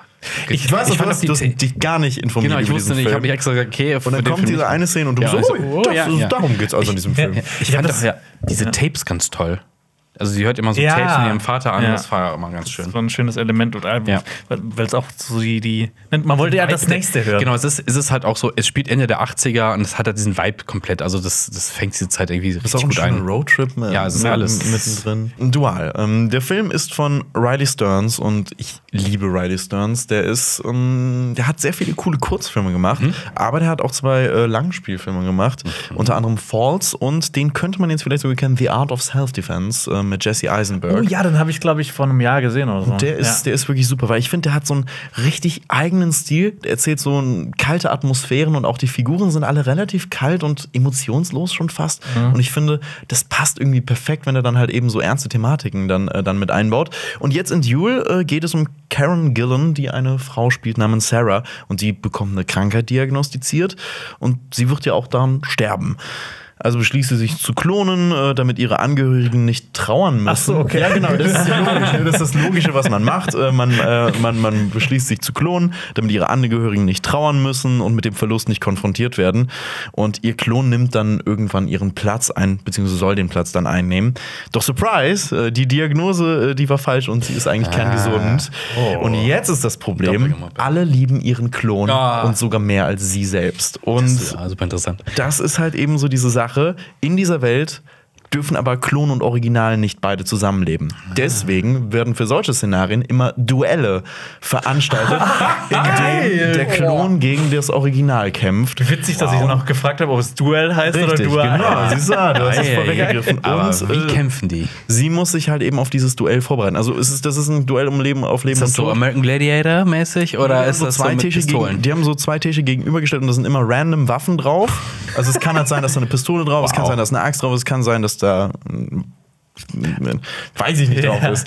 Ähm, aber die stehen, äh, diese Tische stehen sich dann gegenüber und die können sich dann halt irgendwas davon schnappen und töten sich dann halt gegenseitig. Also ich finde, das klingt jetzt als Idee ziemlich gut, aber ich meine, es ist auf der Top-Liste. Ich meine, das kann auch schnell in die Hose gehen. Das ist einfach nur die Idee ähm, interessant ist, aber die Ausführung nicht so Das gut. kann wirklich in die Hose gehen, aber ich finde, das ist halt eben, das zeigt, äh, also hat eben eben auch noch diesen gesellschaftlichen äh, Aspekt noch drin, so was macht uns Menschen eigentlich aus, was macht uns Menschen einzigartig und ich finde, das ist halt eben mit dieser Klonsache halt eben sehr interessant gemacht und auch eben dieses, also das Duell nimmt halt nicht alles ein, es baut alles auf dieses Duell äh, hina hinauf, ähm, aber es geht halt auch um, darum, dass sie sich vorbereitet und ihr Trainer wird gespielt von Aaron Paul, also Ah. von, von, von Okay. einem sehr, sehr Ja. weirden, ja, ähm, ja, Künstler, der äh, auch irgendwie ja, mit Waffen umgehen kann. eine und alles. Montage?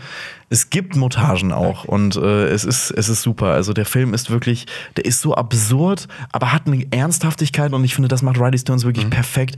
So viel Humor und Ernsthaftigkeit miteinander zu verbinden. Der ist tragisch, der ist super und ich liebe den. Der ist, äh, der ist super. Generell Riley Stearns Sachen kann man sich angucken. Äh, den kann man übrigens äh, nur bei Amazon kaufen, leider.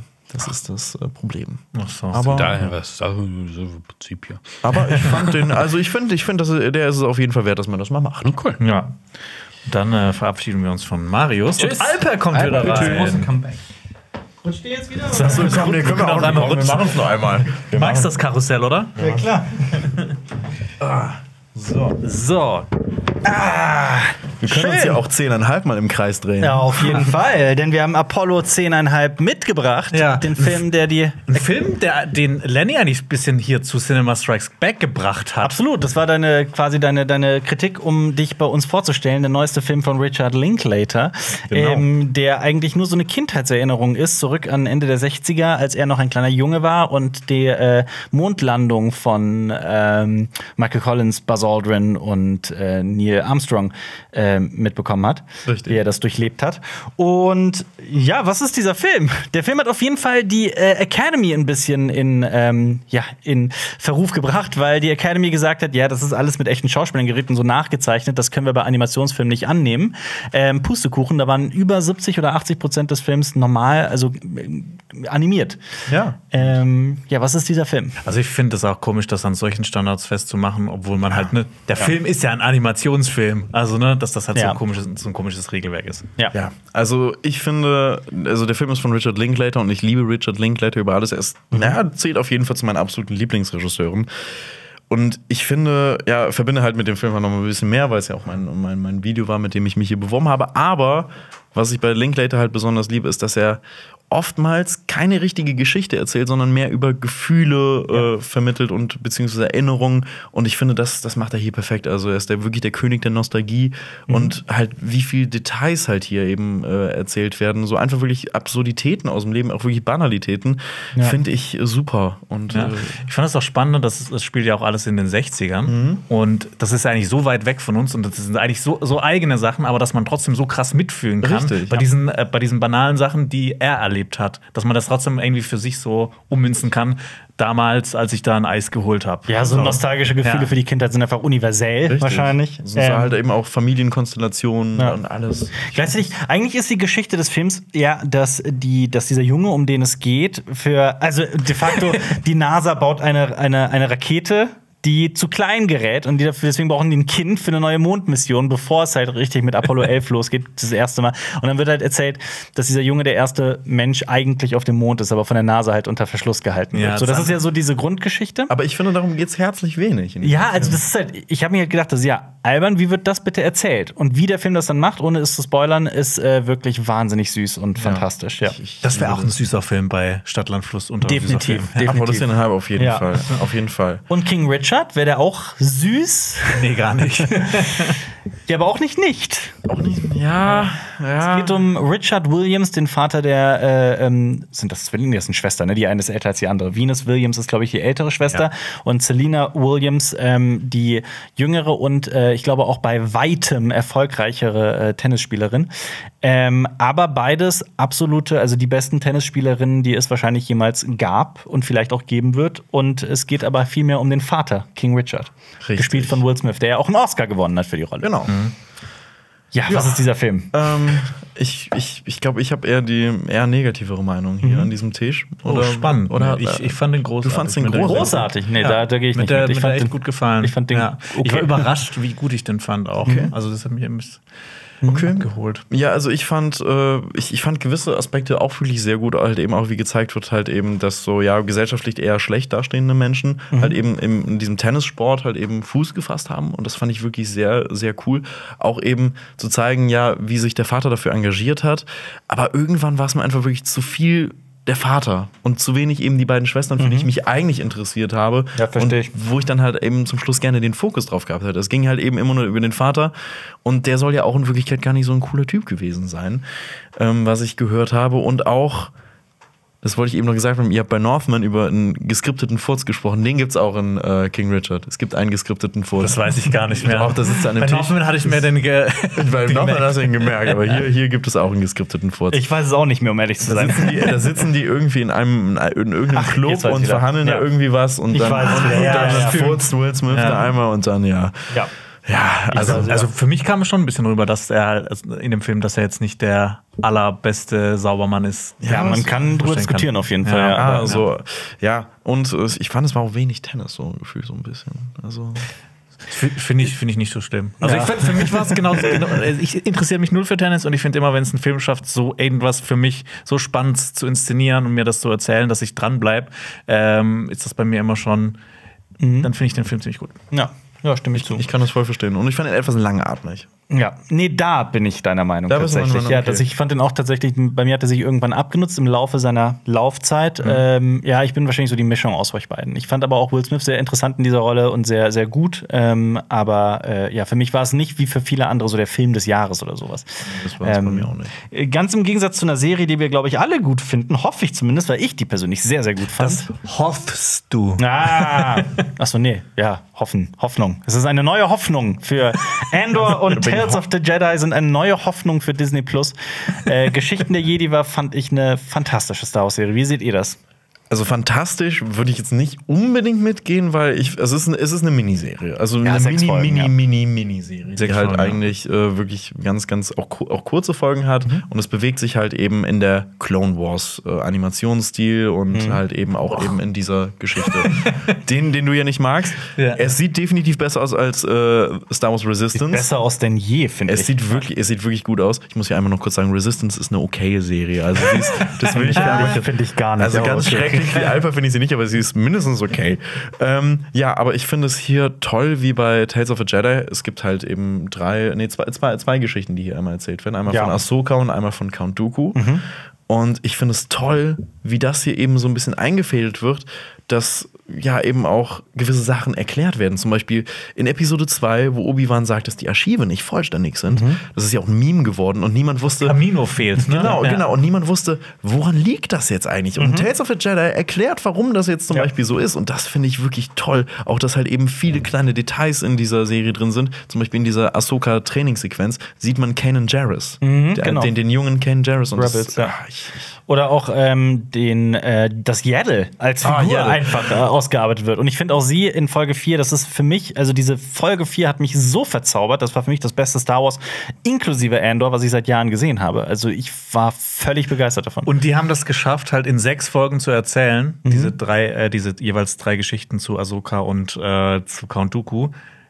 Die haben wirklich das Maximale aus diesen 20 Minuten jeweils rausgeholt, die die halt so lang sind. Und ich ich finde das schon ja. beachtlich. Ja. Weil, ne, gerade wenn man sich durch sowas wie, ich musste mich durch Clone Wars durchkämpfen.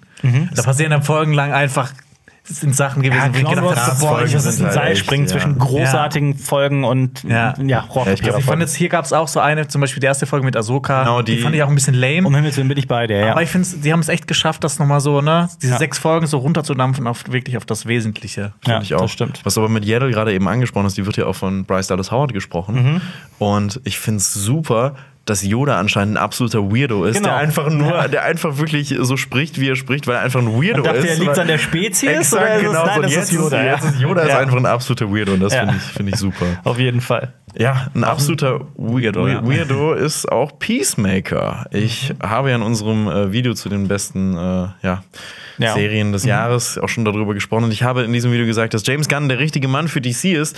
Ich weiß nicht, ob man das aktuell immer noch Hoffen wir es, so dass er weiß, was er tut. kann. Ja, mit den aktuellen Entscheidungen. Aber ich äh, stehe da immer noch zu, weil ich The Suicide Squad wirklich liebe. Das Mhm. ist einer meiner absoluten Lieblings-DC-Filme überhaupt gewesen. So. Oder das ist so eine False Flag Operation von James Gunn und Henry Cavill wird doch Superman und der führt uns jetzt alle an der Nase herab. Oder, ja. oder James Gunn wurde von Marvel beauftragt, Das DC beuern. von, innen, Von innen heraus zu zerstören. zu sabotieren, ja. Das ist halt wirklich so. Nein, aber was soll ich sagen? Ich liebe The Suicide Squad und ich liebe Peacemaker in diesem Film. Und John Cena spielt Richtig, auch wieder John Cena Peacemaker. spielt wieder Peacemaker und ich finde auch John Cena ist der definitiv beste wrestlende Schauspieler, den wir aktuell haben. Also Nein, besser Dave als The Rock. Bautista. Ja, okay, na Dave gut. Okay, Bautista. Dave Bautista habe ich komplett vergessen, aber er ist definitiv besser als The Rock. Ja, also, ohne Frage, Was ja. mit Hulk Hogan? da kommt ja bald das Biopic mit Chris äh, Hemsworth, ja. Ähm, aber ja, Peacemaker, die Serie, äh, die äh, ja, beruht jetzt auf dem gleichnamigen Antihelden und äh, ja, die zeigt halt, wie dieser Antiheld mit einer Taskforce eine Geheimoperation durchführen muss und sie müssen halt zusammen sogenannte Butterflies aufhalten. Und das sind Schmetterling-Aliens, die von äh, ja, Menschen Besitz ergreifen können. Und das ist es halt. Und ich finde, diese Serie ist so witzig. Die ist wirklich unfassbar witzig. Diese Gagdichte ist so hoch. Aber trotzdem ist es keine Blödelei. Also es hat wirklich so traurige, so schöne und emotionale Momente, weil halt eben auch die Figur von Peacemaker hinterfragt wird. Also er ist ja eigentlich ein rassistisches Arschloch, aber es wird halt erklärt, warum er das ist und er selbst erkennt auch so, okay, ich bin halt eigentlich echt ein Weirdo und hinterfragt sich selbst und ich finde das toll, wie diese Figur halt eben, ja, eben aufgeschlüsselt wird. Und ja, ich mag John Cena einfach in diesem Ich, ich freue mich drauf, die zu gucken. also mach die das. ist Auf auf RTL Plus. Das ist ja Ja. nicht das Weirdeste an der Ja, Serie. total. Ja. Wie, wie Wenn die auf ist. irgendeiner anderen Plattform wäre, hätte ich sie schon längst geguckt. Ich kann das Es hat aber auch versichern. lange aber- gedauert, bis die Ja. überhaupt, die lief ja im Januar schon und hier hat, ist die halt erst so im September raus. Absolut, ja. Also, Ja. Von daher. Ja, da, das waren eigentlich unsere 40 Filme und Serien, die wir dieses Jahr ziemlich cool fanden. Es gibt natürlich noch mehr. Wir haben jetzt noch ein paar Honorable Mentions im Schnelldurchlauf. Wir machen die im Schnelldurchlauf. Wir nennen sie einfach, aber Nennen abwechselnd. Jeder einen. Ich habe nämlich noch einen gestern ergänzt, den ich hier noch nicht drin hatte. Okay. Äh, die, der zweite Part der vierten finalen Staffel von Attack on Titan. Das habe ich jetzt äh, fertig geschaut. Okay. Großartige Serie. Äh, Jetzt machen wir es in alphabetischer Reihenfolge einfach nacheinander lesen ja, genau. Also Attack on Titan. Alper? An einem schönen Morgen. Bodies, Bodies, Bodies. Die Discounter Staffel 2. Family Dinner. Glass Onion. Cleo. Licorice Pizza. Moon Age Daydream. Murderville. Prey. Raised by Wolves Staffel 2. She Said. The Staircase. The Stranger. The Unbearable Weight of Massive Talent. Top Gun Maverick. Vespa. X. Und Salava. ja, das waren so noch Filme, die, zu denen wir sind wir heute leider nicht gekommen. Ah, Es schmerzt mir in der Seele, weil es sind echt ein paar großartige Sachen auch hier mit dabei. Aber danke für dieses Jahr. Guten Rutsch ins neue Jahr. Wir sind ja noch in 2022. Ja, Am- Xenia und äh, Marius kommt auch gerne noch mit ins Bild Ja, kommen. gerne. Äh, und alle, die jetzt zuhören, ähm, ihr fühlt bestimmt, dass, äh, Hoppala, äh, sorry. mal mit Xenia und Marius auch dabei sind. äh, schaut jetzt noch gerne weitere Videos an. Wir haben über ein paar der Filme schon gesprochen. Zum Beispiel schaut euch unsere 10 besten Filme 2022 an oder natürlich die 10 besten Serien 2022. Da haben wir auch ein bisschen drüber gequatscht und haben so eine richtige Reihenfolge. Was ist denn das Beste? ähm, an Serien und Filmen dieses Jahr. Und dann hoffe ich, dass wir uns äh, bald wieder hören und sehen. Guten Rutsch. Ciao, mach's gut.